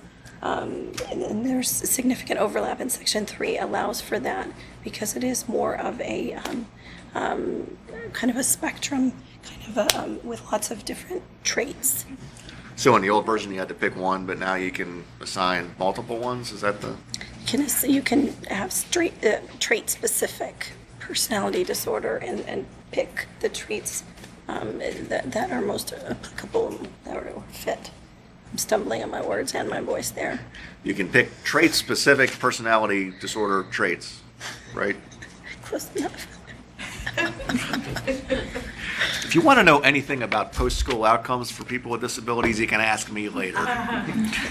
I do actually know something, just not this. very Not well. this. This is, Um, this is all section three in the back of the book. This is not currently in the DSM five, section two, where we get our official diagnoses, but this is the new stuff for personality disorder that is under um, consideration.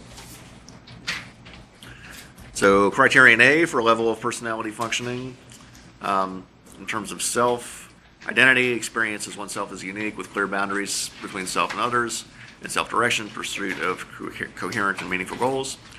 And on the interpersonal, um, empathy and intimacy. Read what those mean. So we think about those as kind of protective factors for uh, typically developing individuals. And the opposite of those things would be uh, examples of, of dysfunction, um, for lack of a better word, according to personnel um, criteria. B. All right, we have criterion B, pathological personality traits. It's a five-factor model, um, which Dr. Godlaski referred to earlier. Um, each trait offers multiple distinct variants. So, what does all of this have to do with rehabilitation? I'm asking them. I'll tell you what this all has to do with rehabilitation. Uh, Dr. Prout mentioned having reviewed about 100,000 disability determination requests um, and reports, and I wonder how that number may increase after the DSM goes into effect on October 1st of this year. Um, says, oh, i.e., adult ADHD as mentioned by Dr. Godlaski. DSM-5 grandfathers in those previously diagnosed to resolve the problem for special education. Uh, there's a note that says those who receive services will not lose them. DSM-5 will reduce the number um, of kids diagnosed with ASD going forward. Right. Consistent with what you were stating. I think so. It might, or it may.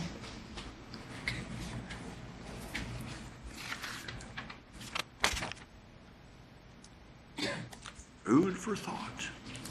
Um, increasing the population of people considered to have a disability increases the strain on a service system structure that is already struggling to provide adequate access to quality care. Hmm.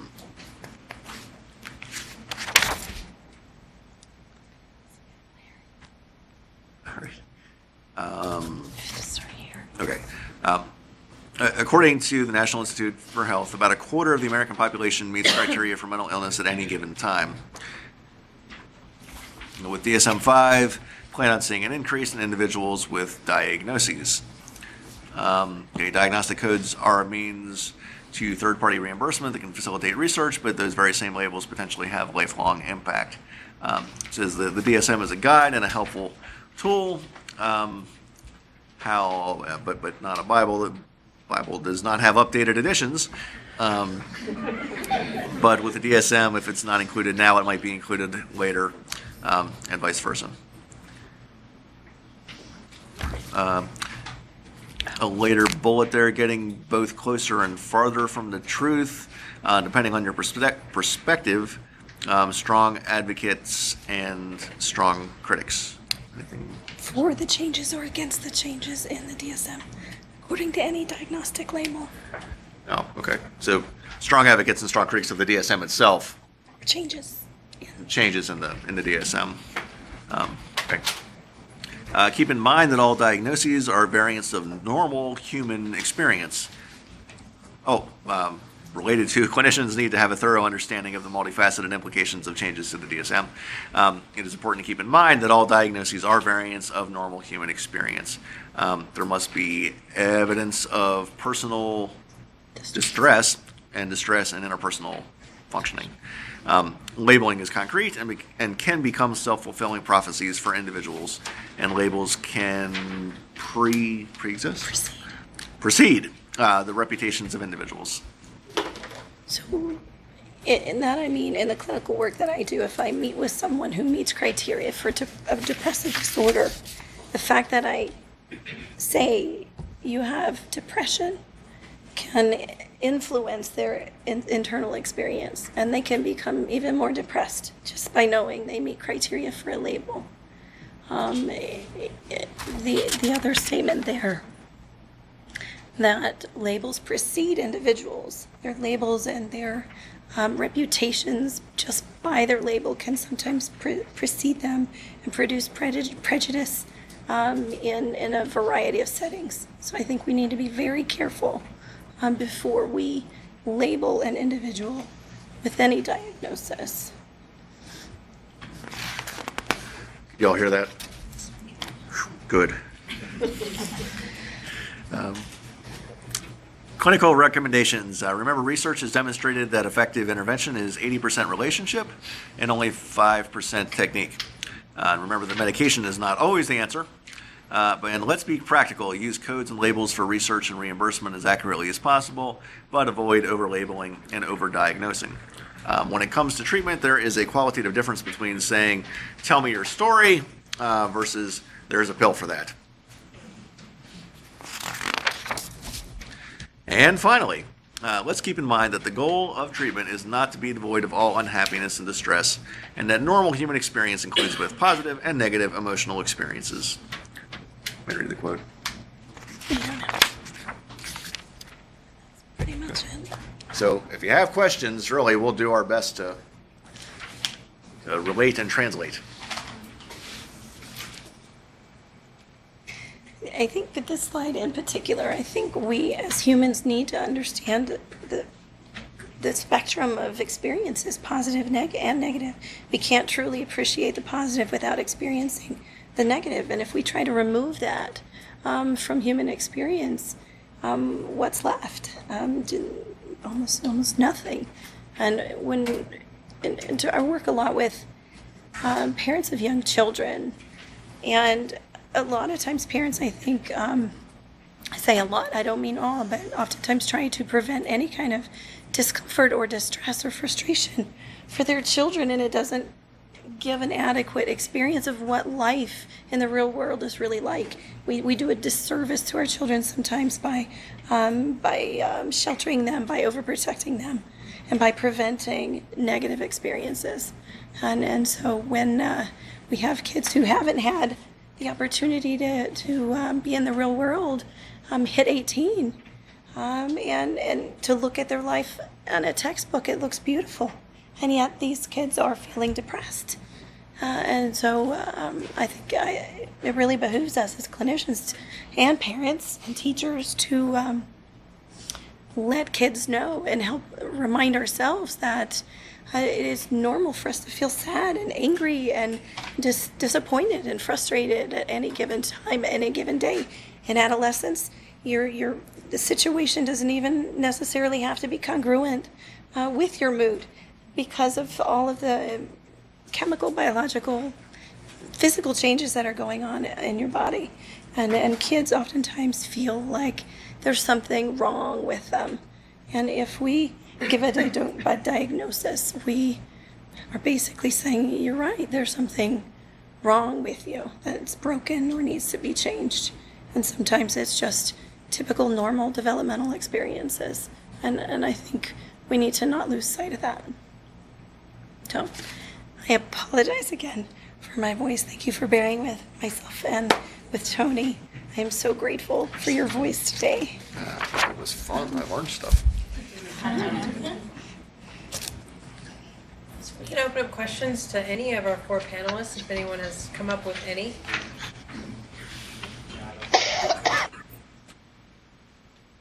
Yes. I, I know mental illnesses are brain disorders. Is there any research lately on personality disorders?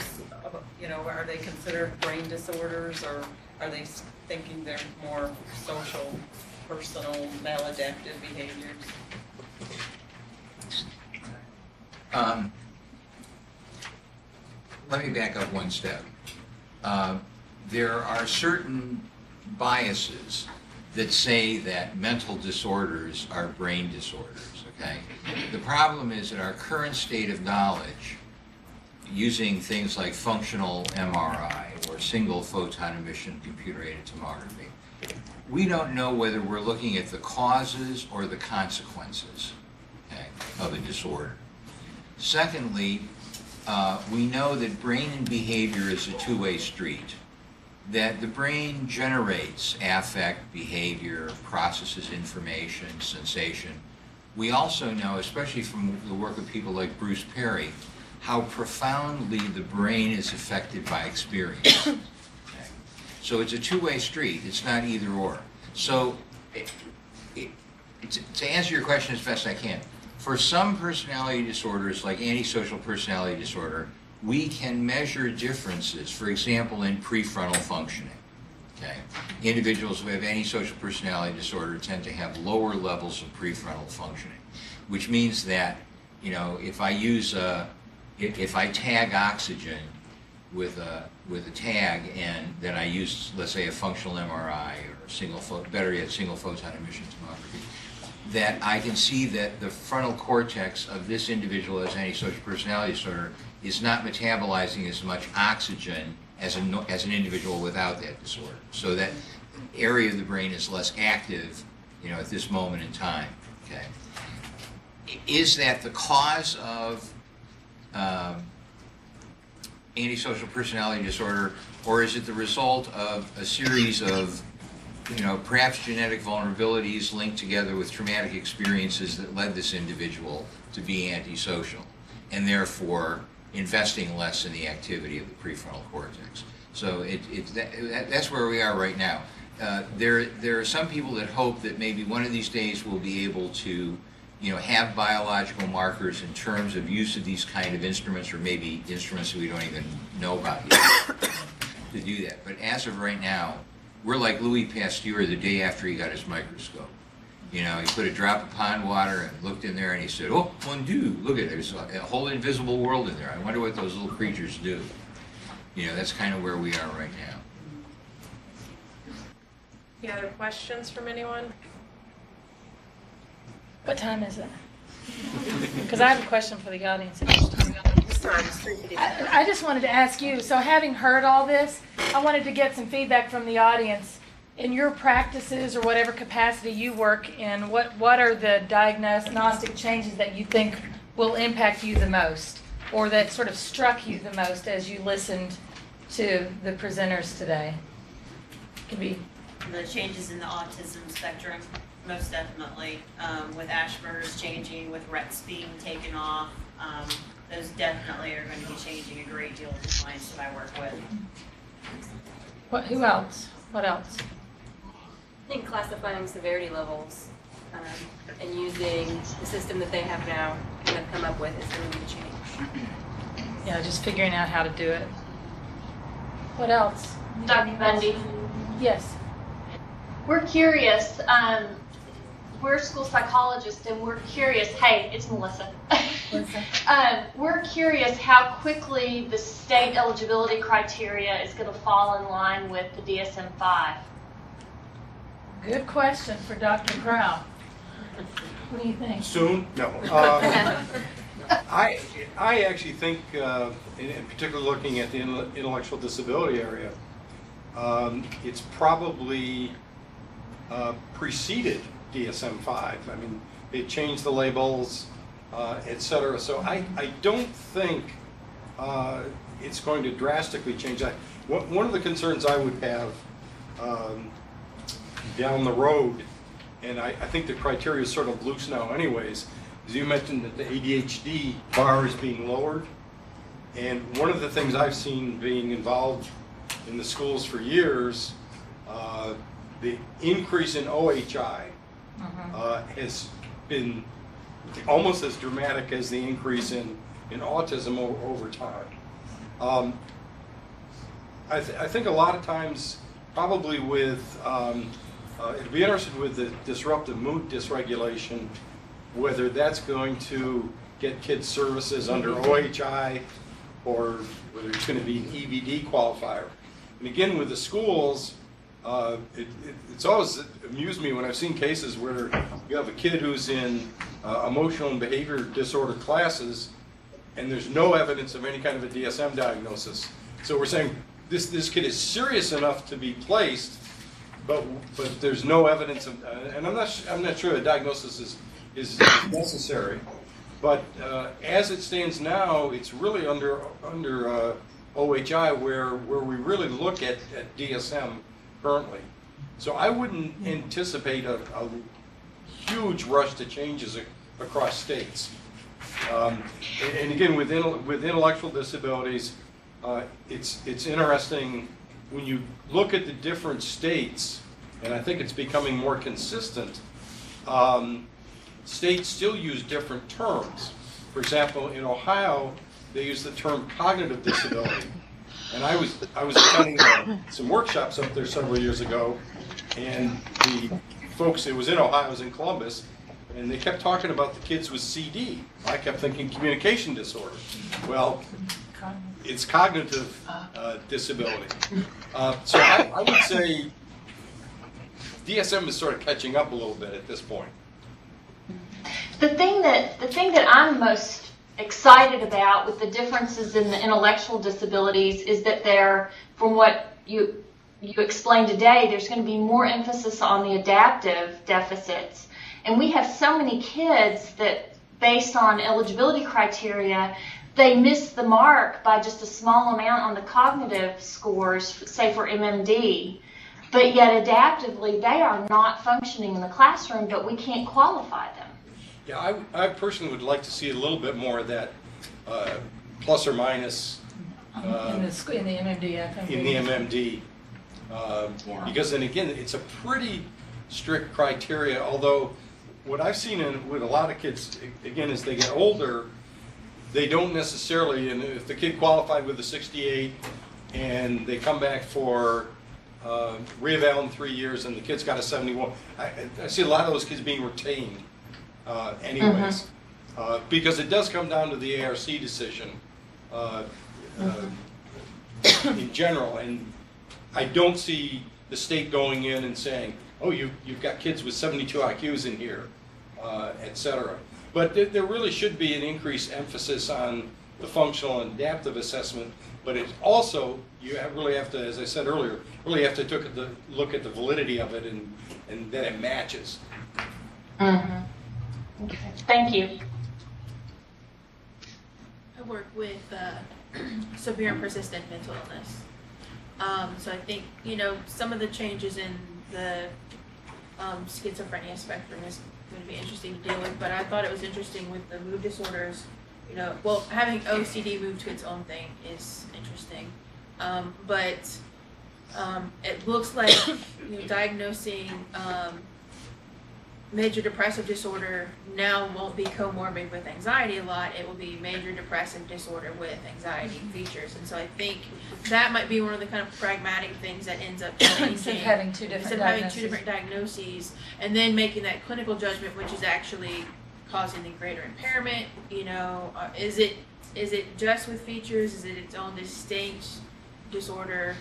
Um, I think that's going to be one of those challenges. I think the specifiers are nice when it's this is the hint or the trend that the disorder has, but but sometimes it's it's I don't know. It's almost too helpful, right? It's so specific.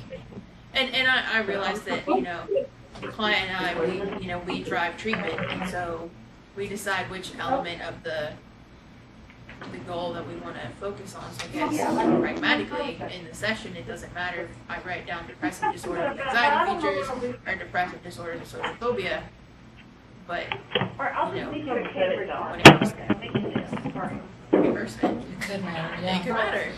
You know, and if, if they do uh, want to, I mean, we have uh, clients who um, apply for disability, you know, and is having these specifiers going to make an, an important difference in applying for disability? When you don't have two different disorders anymore, you have a disorder and a specifier. So those are kind of the concerns that I, I have. What is your name?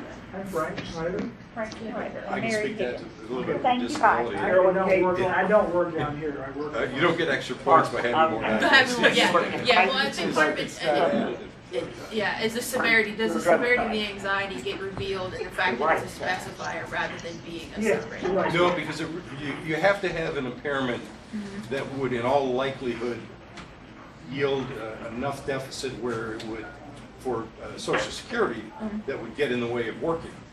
Yes. So it really, where, where you run into inconsistencies where you have somebody who would say, let's say, this person has mild depression, and there's alleging or claiming all these limitations. It's really, once they have the, the diagnosis, and if it's reasonable that it could produce the limitations, then it gets into the functional. Uh, Social Security is very heavy in particular with the psychiatric diagnoses, Mhm. with, with looking at uh, the person's ability to function. So the, the, the severity index is more important to, to, to, to It will probably get looked at a little bit, but, you know, the GAF, which I joked Mhm. about earlier, you know, I, I've seen people be evaluated by different professionals, three different professionals within a week, and you get a GAF from 30 to 70. So the, this, I, I think the, the severity, if, if you say somebody's severely impaired, obviously that's gonna get a little bit more attention Mhm. than, than mild. Mhm. Um, So it will be factored in, but I, I, you know, I may be a little bit biased since I've been doing this so long, but I, I think the uh, people who evaluate uh, the claims do a pretty good job of balancing the diagnostic information, the functional information, and sort of that it, that all makes, that makes Mhm. sense. That's good. Do you see any differences influencing disability for kids in the diagnosing of it? Because I, I'll have some kids who, who come in and say, you know, you know, mommy said to be bad, so I get my check. Or they'll say, I have this, so I get my check. I need this diagnosis for my check. Or they, they look at, or I have some kids that, I've had teenage research, what they need to have to get a disability check. You know, things like that. It's, the, it's there on the internet. And I, I think the vast majority of people who apply for disability are doing it genuinely. Um, and there are, I mean, I've seen instances with evaluating kids where, uh, you know, they, they've told uh, the psychologist evaluating them, I'm here to get my crazy check, okay? Um, But that's, that's a small percentage. And one of the things, uh, again, with, with kids, uh, as much as possible, and you probably, those who work in the schools, for teachers complain about having to fill out all the, the forms, they try to get as much collateral information as, as possible, not just a, you know, a one-shot uh, kind of thing. That's where special ed records are, are very, very useful um, in terms of uh, sort of putting, putting the whole puzzle together. Because I always document stuff when kids come and say stuff like that, I'm like, because they, they'll want that check. And because they've heard from, you know, if they get a diagnosis, they, I have something that immediately run out, we'll get papers wanting to apply for disability. But I- I've seen reports where a kid has made that kind of comment, and then you look at the, the evidence and you go, well, yeah, he's, he, this, this kid's pretty impaired, so it's not, doesn't necessarily rule out that they're, uh, uh, sort of exaggerating that. It's kind of which comes first, chicken or the egg. Yeah.